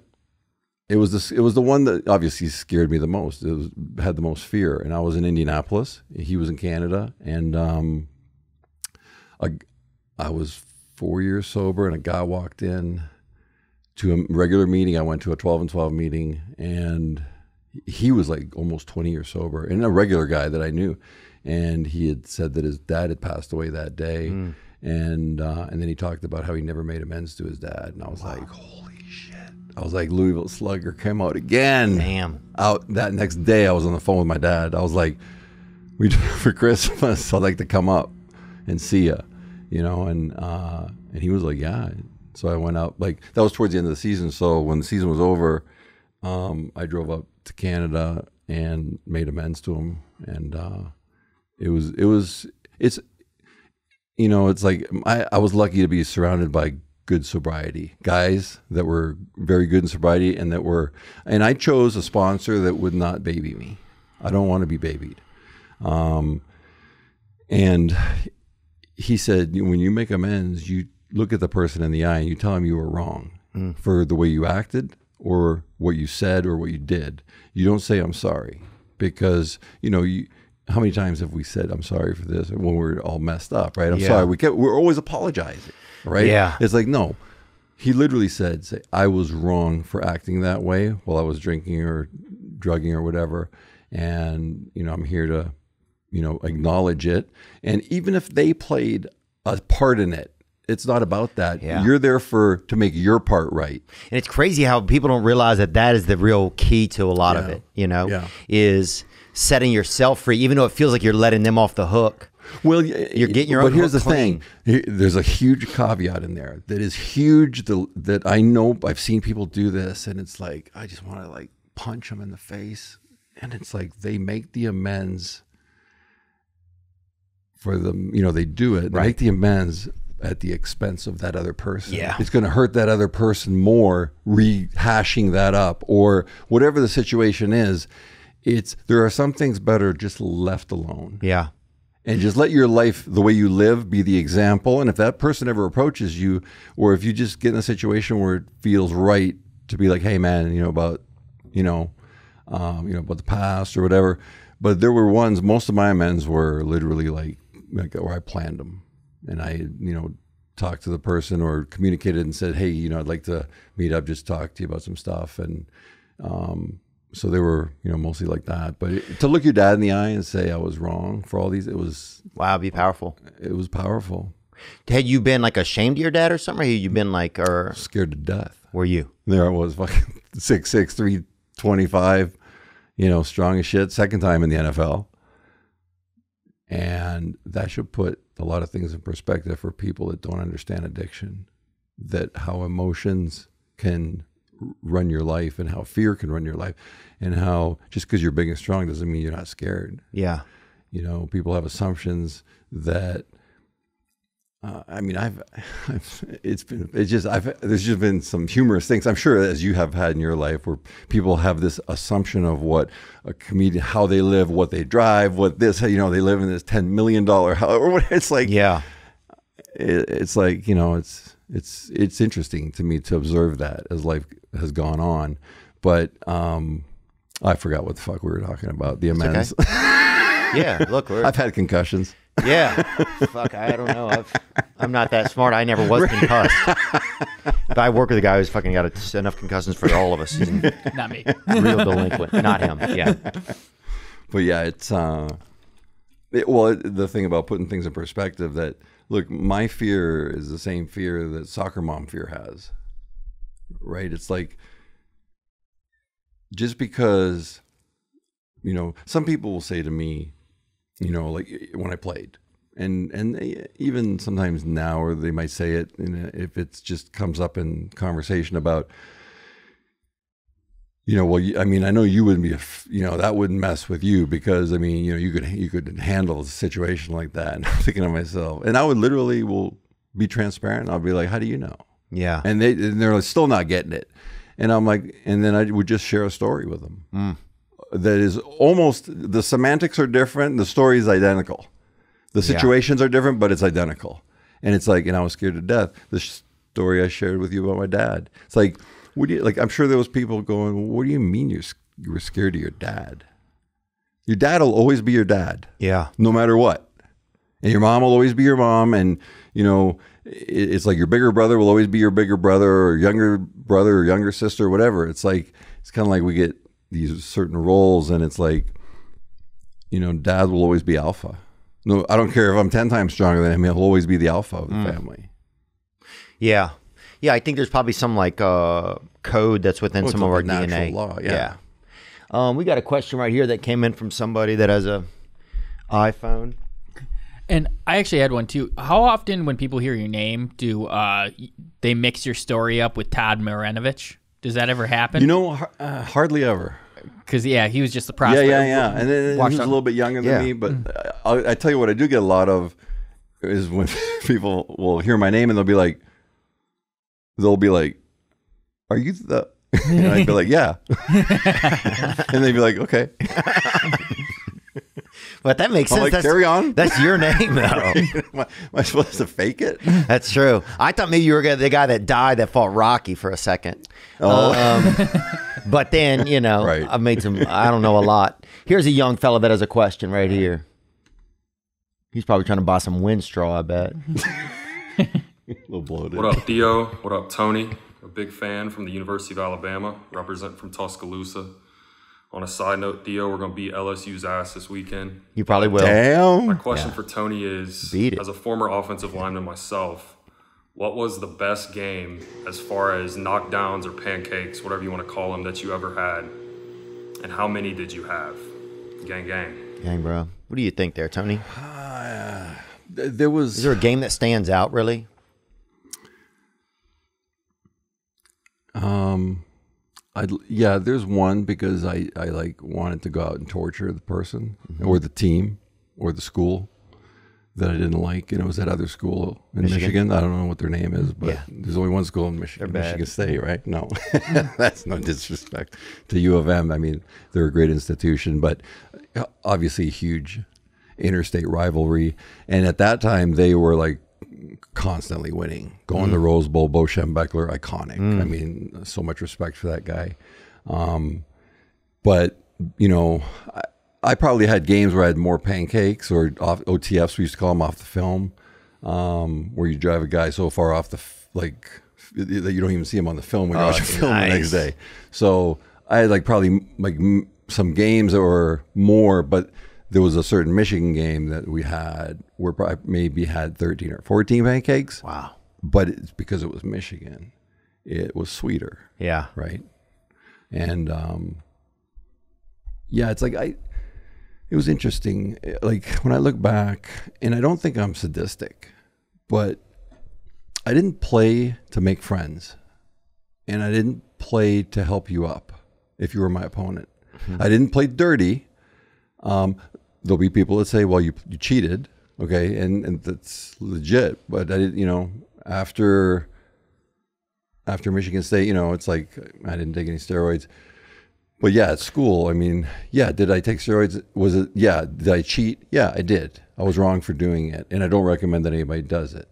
Um, but that drive for, for like, you know, Yeah, your out- etiquette and stuff. I mean, Yeah. what's in your blood and what's in your heart and your, what's in your behavior can be different things. Yeah. And you don't, you know, there's people that, especially guys now I'm talking, that are like, well, yeah, but he took steroids. And it's like, okay, well, yeah, why didn't you play in the NFL?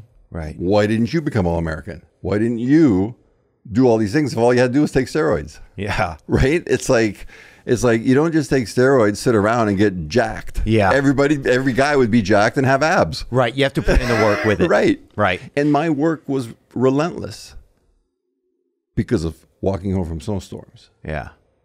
because of the head coach I had, because the guy who recruited me, Nick Saban, they were all relentless about work ethic and the way I grew up.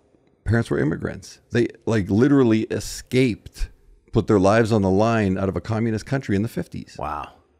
So I'm like thinking to myself, I'm laying there on the field at camp, sober in Indianapolis, my second year there, and it's hot as shit out in July, it's humid, and like just beating up with sweat during stretch, right? You still got a two hour practice to go, and kind of feeling sorry for myself, and like, you know, and then I started thinking about a story my mom told me or something where her mom pulls her out of third grade back in the old country in Europe, and it was Croatia, but it was at that time Yugoslavia, pulled her out of third grade class and said, The guy that was taking care of our sheep in the mountains has bailed on us. So here's a wooden staff. I need you to go take care of the sheep Wow. and, t- and keep the wolves off of them.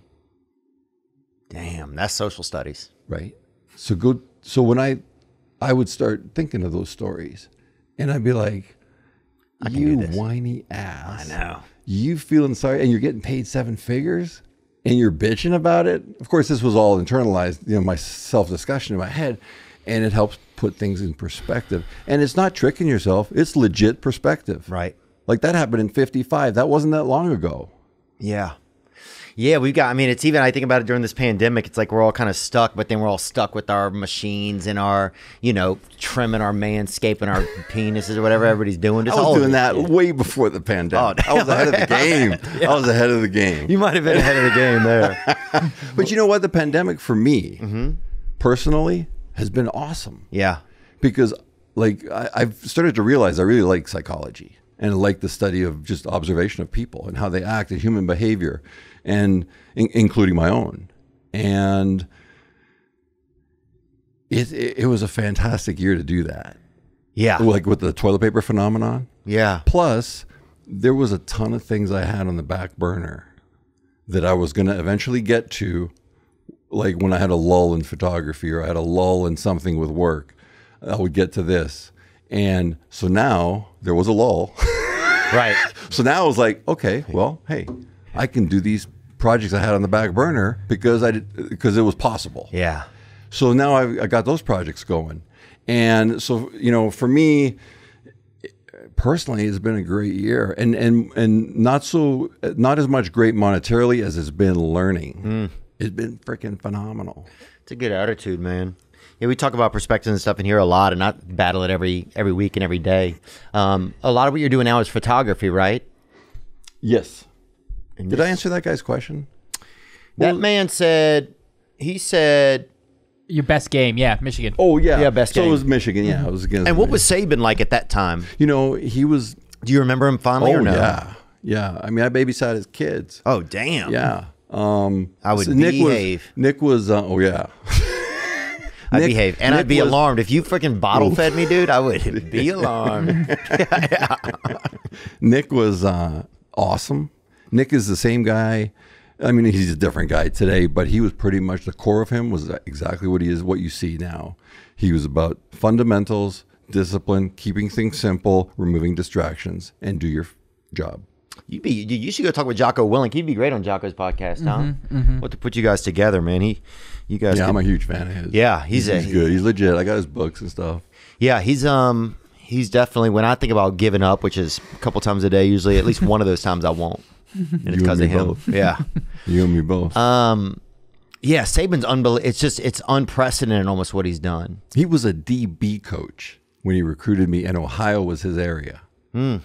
So I you was- weren't even on his on his docket. No, he was there looking at another guy who was one of the stars on our team, and then he said to our head coach at the high school, who he knew, was like, "Who's that guy?" And he told him and everything. He goes, "Well, I want you know, we want to talk to him." And they watched film and stuff, and then he they offered me a scholarship, and on I remember sitting with Nick and. Nick was the same. I mean, he's the same. He's a, he's a phenomenal human being. The guy is like a first class human being. Him and, and Terry, his wife Terry, um, they're great people, and uh, I was so lucky to be surrounded by some of these people. And even all the mistakes I made, I was so lucky to be surrounded. that and, amazing? And then to watch Nick go from this DB coach to possibly being one of the greatest ever college football coaches. Yeah. And then when he went to Alabama, it was like, oh, you're not gonna uh, like knock Bear Bryant to the side. Come on now. know, I mean, Bear's that's more like of a Cub now. iconic, right?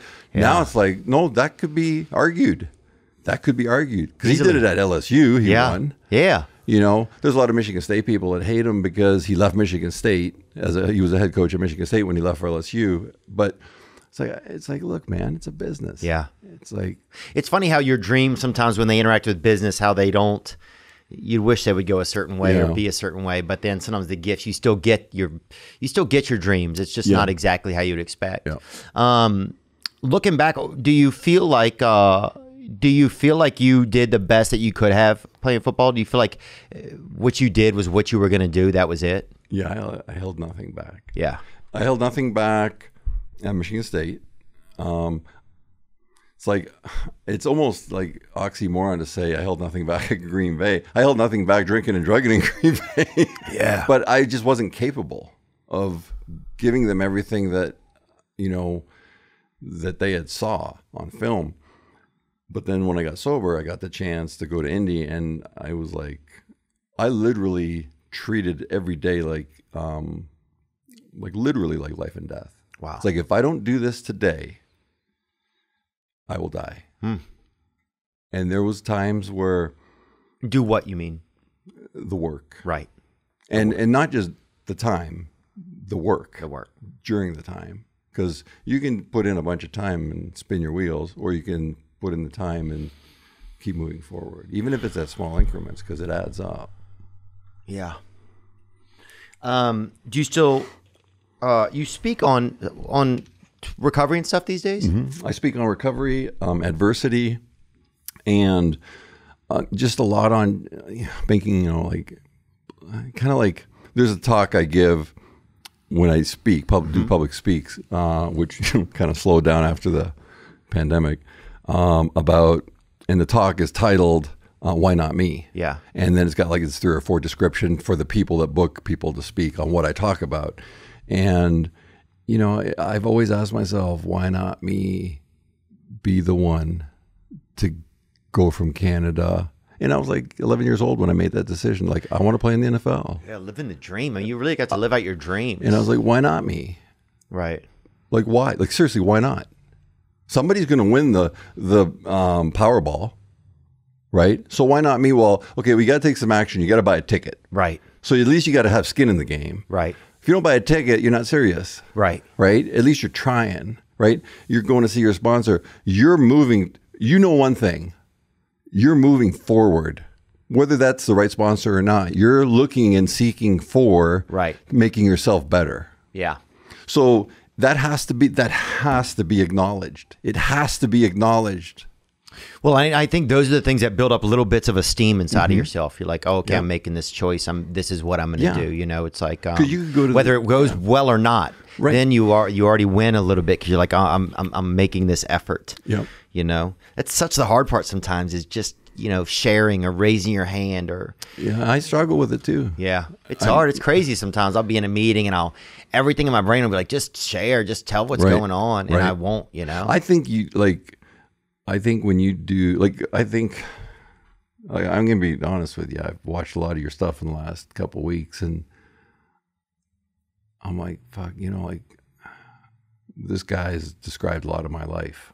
Like, so you like, it's like there's so many common things, but the state I like the least in the whole union is Louisiana. yeah. I just it's just one of those states that I've gone there like three or four times to play, to play the Saints, and it's always been smoggy and smelly. Yeah. So like that's my impression of Louisiana. There's so much tradition there and and like stuff and like culture and stuff that I you know don't like I know about, but I really don't know about. Right.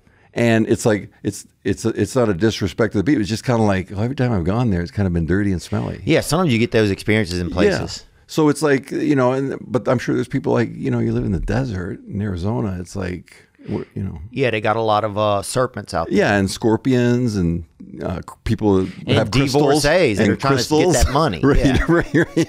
Oh, they stick out like a sore Oh. Oh, my. God, they're red flags walking around. All they need is a sickle and a hammer. Yeah, connection is so key, man. It's crazy how connection breaks down the different things that we. Well, you know, you know what? the crazy the other- things that we keep day. us apart. Yeah. The other day, you had said something. When you do your like uh, solo podcast, Mm-hmm. you do like a lot of talking about what's going on and stuff, and you talked about you had said something. I was like, I can fucking relate to that shit there. I pulled into a donut shop and I started crying. Oh wow. Didn't get out of my vehicle. That was me. You go, wasn't thought touching was myself. you. Yeah, no, no. When I was listening to you, I was Oh, watching yeah. it on the I'm like, YouTube. fuck, I- I feel- I feel You're like like, wait a I can relate to second. no, but but you know, and then you kind of right, right, and I'm like, yeah, I know that feeling.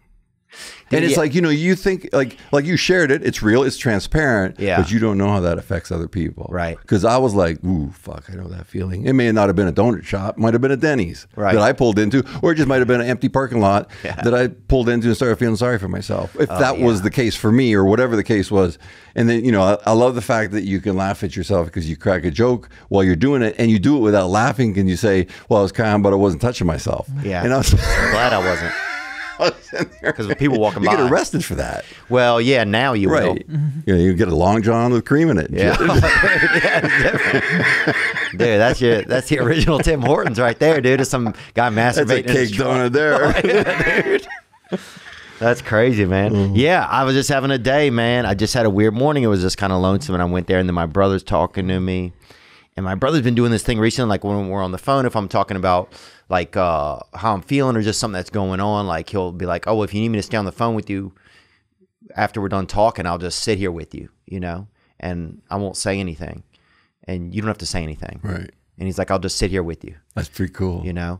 And man, it just like That's pretty cool. I mean, that's it was crazy because I just never had anybody say, "Hey, you know, no matter what you're feeling or thinking right now, Right. it's okay. Right. I'm just going to be here with you, Right. and it, you don't have to say anything, and I don't have to say anything, and I and I'm just here for you. And man, it just dude, that's just when he- powerful. oh, it just like it just it it gets uncontrollable. I'm just like, man, that's powerful. You know, uh, That's real shit. It's not. It's like, that's authentic, real stuff. And you find out who the real who who's in your who's loyal to you. yeah, Like, and there's there's different levels, I guess, of loyalty, different degrees of loyalty. But like when it comes to life and death, I'm talking. Yeah. that's the only loyalty I want. I'm talking about is like I'll be in your corner even if you're wrong. yeah, Like that's the kind of loyalty I'm looking for.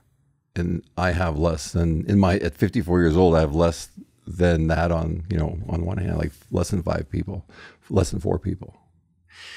Well, and it's it's interesting because the, the one of the remarkable things about it for me sometimes is that I think some of my reality and the a little bit of the pain that comes with it is that I don't know if I'm ever that for anyone, oh. and so some of Oh. Well, I it is just told a you. realization. I you just know? shared with you about the donut thing. And Yeah. it wasn't it was a funny thing. Oh, that's interesting. And I'm sure people were like, well, that was like out of left field.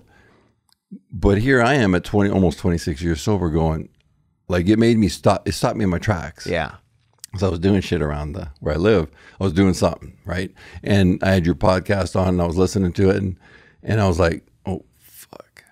I was like lumping my throat. I was like, I know exactly what that feels like. yeah, So you never know what we say, and we may think it's something like minutia that doesn't important, um, but it'll affect people, yeah, and it may help somebody that's on the fence say, you know what, if if that jackass Tony can do it, I can do it.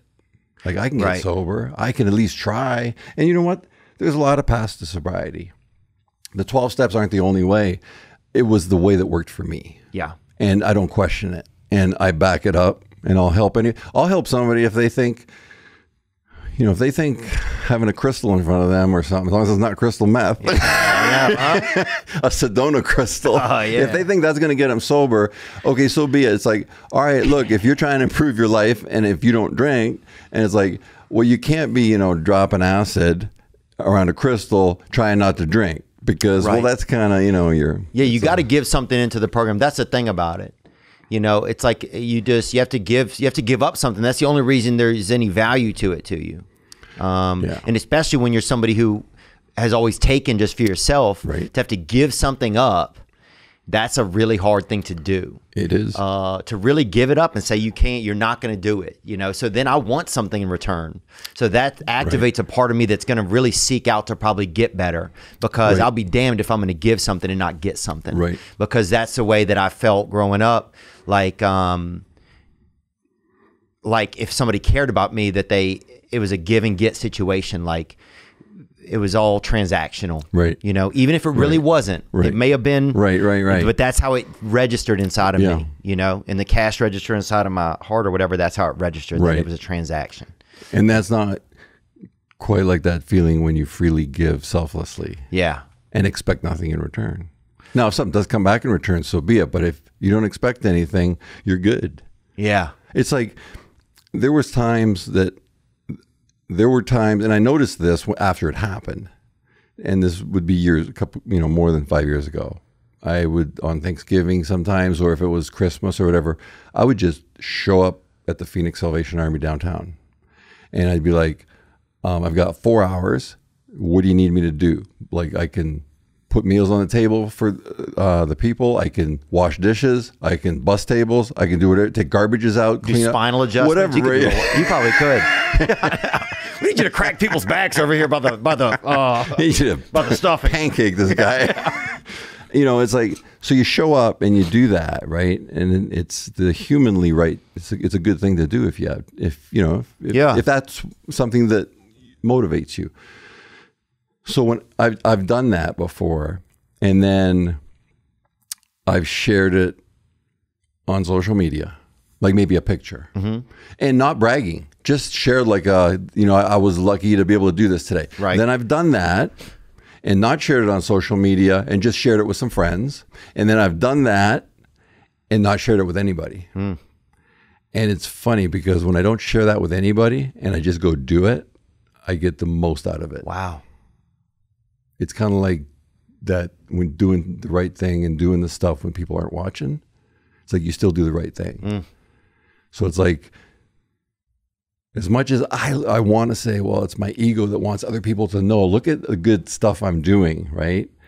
Even if i just tell my close circle still part of it the way i don't think that and and, and you know people that do that there's nothing wrong with that. No. But I kind of looked at all three of those situations and I found that I got the most out of it because I knew, you know, I believe in God, so I knew God knew. right. I knew, and I was just trying to be of service to God's kids. yeah Who were and those people, the only difference between the people those people and me when I was drinking was time. Because it was only a matter of time before I was gonna be at that table with them. If I was lucky to be at that table with them, if I wasn't dead. Yeah, man, it's it's interesting to hear that, especially in a day where we live in such a place where we want to share things and how we do it and how our communication is, you know, our mouths are our phones now. It's like that's, um, it's interesting, man, but it's a nice reminder. You know, it's a nice reminder of, uh, especially going into the holiday season, man. Yeah. Um, I got to get some photos taken. Can, can you take me to Tony's pictures, real quick, please, Nick? Um. Nick forgot his charger at home. That's okay. Nick's running. We're gonna finish up quick. Seven percent. But that's how Nick always is. I got one right behind me. Nick's always on about a seven percent, man. But he's but he the other ninety three percent he spent it. He definitely spent it getting his job done. Um, it's not because he just showed up. Was you know he he spent it. Right. He spent it wisely. Wow, this is awesome, man. So Yeah. you got into this photography. How did tell me? Take me through that, man. We'll you know wrap the, up. the the big catalyst was Dang. the SI cover. That's the big catalyst, right? You're there, right. I'm catalyzed. You're in ketosis right now. ladies, yeah. Oh, this is So, interesting. yeah, man. it's like a lot of it's compositing. Um, so I'll take a. We'll have a plan. We'll take a, the picture of the person in the studio, and then um, whatever the plan is, we'll. Uh, you know, I'll add the composite. And usually, I try to make nine. Any composite I do, I try to make the picture like the background picture, the picture I took, whether it was of shiprock or whatever, like Oh, I see what you're saying. So you'll take an actual photo of a person and then put it on another photo of a that I took. of a scene. right, right. Interesting. This one, like that one, This is cool. Like how many? That thing got a ton of likes. I, I believe this is the one that got a ton of likes. But here's the funny thing: that was 120 weeks ago. Okay, so 79,000 views. Okay, Mm-hmm. I got home and I saw this clouds like that. Like they weren't moving. That's time lapse, right? Mm-hmm. There was a shot taken every say three or four seconds, five seconds, and I took my camera and I literally all I did was I put it on top of my Jeep. No tripod, no. I just put it on top of my Jeep, kind of tried to make it as level as possible, set the timer, to record, and I had set, and my camera was like a decent camera. It's like five or six thousand bucks. So I was like, well, I got to hang out. I'm not gonna just like walk away from the jeep. I'm not in the middle of a desert where you can walk away from the jeep and. Uh, and, and Yeah, that thing ended up getting a ton of views, and it's like one of it was one of the most simple and unexpected photos, you know. And like that, you can see the before and after there the of the gentleman with the white tank on, you know. It's like that's like the, when you see the final shot, or you- that's like the behind the scenes Mm-hmm. shot, and then you see the final shot, Oh, it's interesting. and it's like a lot of people will say, "Well, I never thought it would look like that." And Yeah. and, and a lot of times the person can't picture what I'm picturing Hmm. because I have an idea, and we try to get on the same page with a lot of stuff. Like that one of the Milky Way there, that video. Yeah. That was up. oh, I was looking at the other one. Oh yeah, yeah. You were looking at the Milky Way, I was looking at his Uranus. right? Sorry, and that's out of line, and I'm sorry too. no, it ain't. Yeah, you're right. Because that's a planet, isn't We're it? good. Yeah, it is. Well, yeah. That's what you were talking about, wasn't it? yeah. So you know, they see the Milky Way coming up. Wow. So that was at Goblin Valley. And, And what is that? Lasers right there? What is that? No, Lasers? those are uh, actually those are pl- uh, some of them are shooting stars, but most of them are planes. wow. Most of them are planes. You can tell the difference between a shooting star and a plane by certain things. Those are planes right there. That's dope, dude. Isn't that cool? Yeah, that's crazy. And that's in the middle of freaking nowhere. That's really really cool, And I love it. dude. I'll have, well, let's do some pictures sometime when I get out Absolutely. there. That'd be super Absolutely, cool to get something neat. I think I think Get something I would- exciting. yeah, and just something that really like, especially you know, it would be cool to do something with my boy. Oh, that's a puppy you have. They- well, yeah, he's uh, a Newfoundland, a brown Newfoundland. He's really a really good dog. He's, he's the best. So he's from what? He's from another country. Well, he's from the from the province of Newfoundland, Oh, which is the east coast of Canada. Yeah, I think I met someone there off the internet once. Halifax.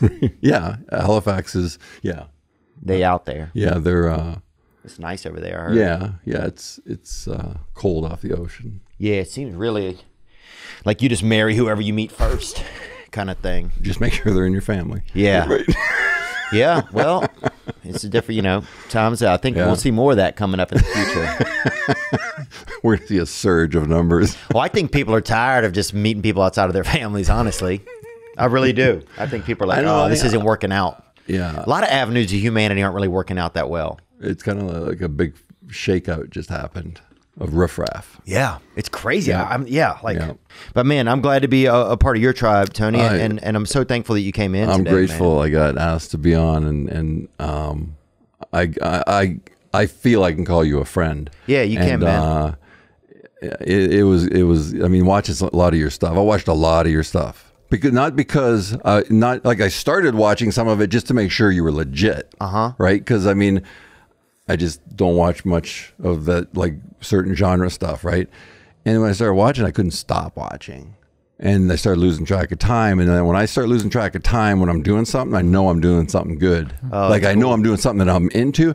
So it's like it always kept me interested in what like you were and the diversity of people that you'll have on or talk to. And then when you do the solo ones, when you just are reflecting about stuff, you say funny like funny stuff. Obviously, I find it hilarious because I can relate to so much of it. It's like my movie is Dumb and Dumber, right? it's like I can relate to it because that's I'm freaking Lloyd, right? but it's like it's like I catch myself. I, I probably bank twenty hours of of ah, whether YouTube or cool, pod. man. So I'm like, no, like this. I can relate to this guy. This guy adds like this show adds to my life. Even the stupidity part of it adds to my life because I can relate. Right. But there's so many things that go deep Yeah, that you know like will stop me in my tracks, and it's hard to stop me in my tracks that's probably because really I walk true. with purpose and I got shit to do. And I ain't got shit to. I ain't got time to stop and just waste time because time is limited for me. It's interesting how as we get older, it starts to get a little bit limited. If Mm-hmm. somebody ever said, "Do you want to try to stop Tony Mandarich in his tracks?" I would have said, "No way, please. I'm going to send Nick in to do this job." Man, no, it's a pleasure, man. It's a it's a pleasure to talk to somebody. You know, I think I needed to be around somebody today that's in the program, and just you know, I don't think you know just how much I needed that in my own life today. So I think even you being here you. is kind of like a service call in, in ways that you probably can't even know. You know, Right, right. Um, and that is reciprocal, right? That works both ways. yeah, and it's cool, man. And yeah, I'm here for you, and and we'd love to have you back sometime. Absolutely. And and uh, and just thank you, bro. Thanks for coming right. in today, man. It's an honor. Great. I'm cool. grateful. I'm a grave. I'm honored to to to be on the show and and Yeah, it's cool, man. You just never know how things are happening. I mean, Right. literally, what happened was I saw 15 seconds of uh, a video about you probably like six weeks ago, and um, and- probably the E60 special or something that they did last year, maybe. yeah, and I'm not even sure what it was. No, it was like a uh, no. This was just a clip. It was just a Oh, clip on something, and I was like, oh man, this is so interesting. And Nick is a huge Green Bay Packers fan, and so Right. I was like, oh, this is this seems like it would be something that we could talk about. And then once I looked more into you and saw the Right. recovery and stuff, I was like, oh, this should be pretty cool. No, I So- appreciate it. It's uh, and and I know that somebody that listens to this, it'll help somebody. Yeah. It'll help, and uh, for somebody, it'll reiterate that I am an ass.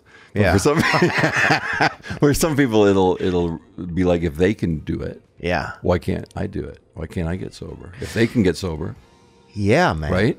Yeah, I think. I mean, we're made of the same stuff as far as the laws of nature. oh, it's a simple recipe, man. Yeah. It's and we're just pretty, con- you know. Why not me? Yeah, why not me, man? Why not me get sober Why and not stay me? sober and not have to go back? Yeah. That's the way I look at it. Yeah, I think especially right now, man, it's a good message for a lot of people. You know, um, Tony Mandarich, thank you so much, bro. Thanks, brother. Now I'm just floating on the breeze, and I feel I'm falling like these leaves. I must be cornerstone. Oh, but when I reach that ground, I'll share this peace of mind I found. I can feel it in my bones, but it's gonna take a little time for me to set that parking brake and let myself unwind. Shine that light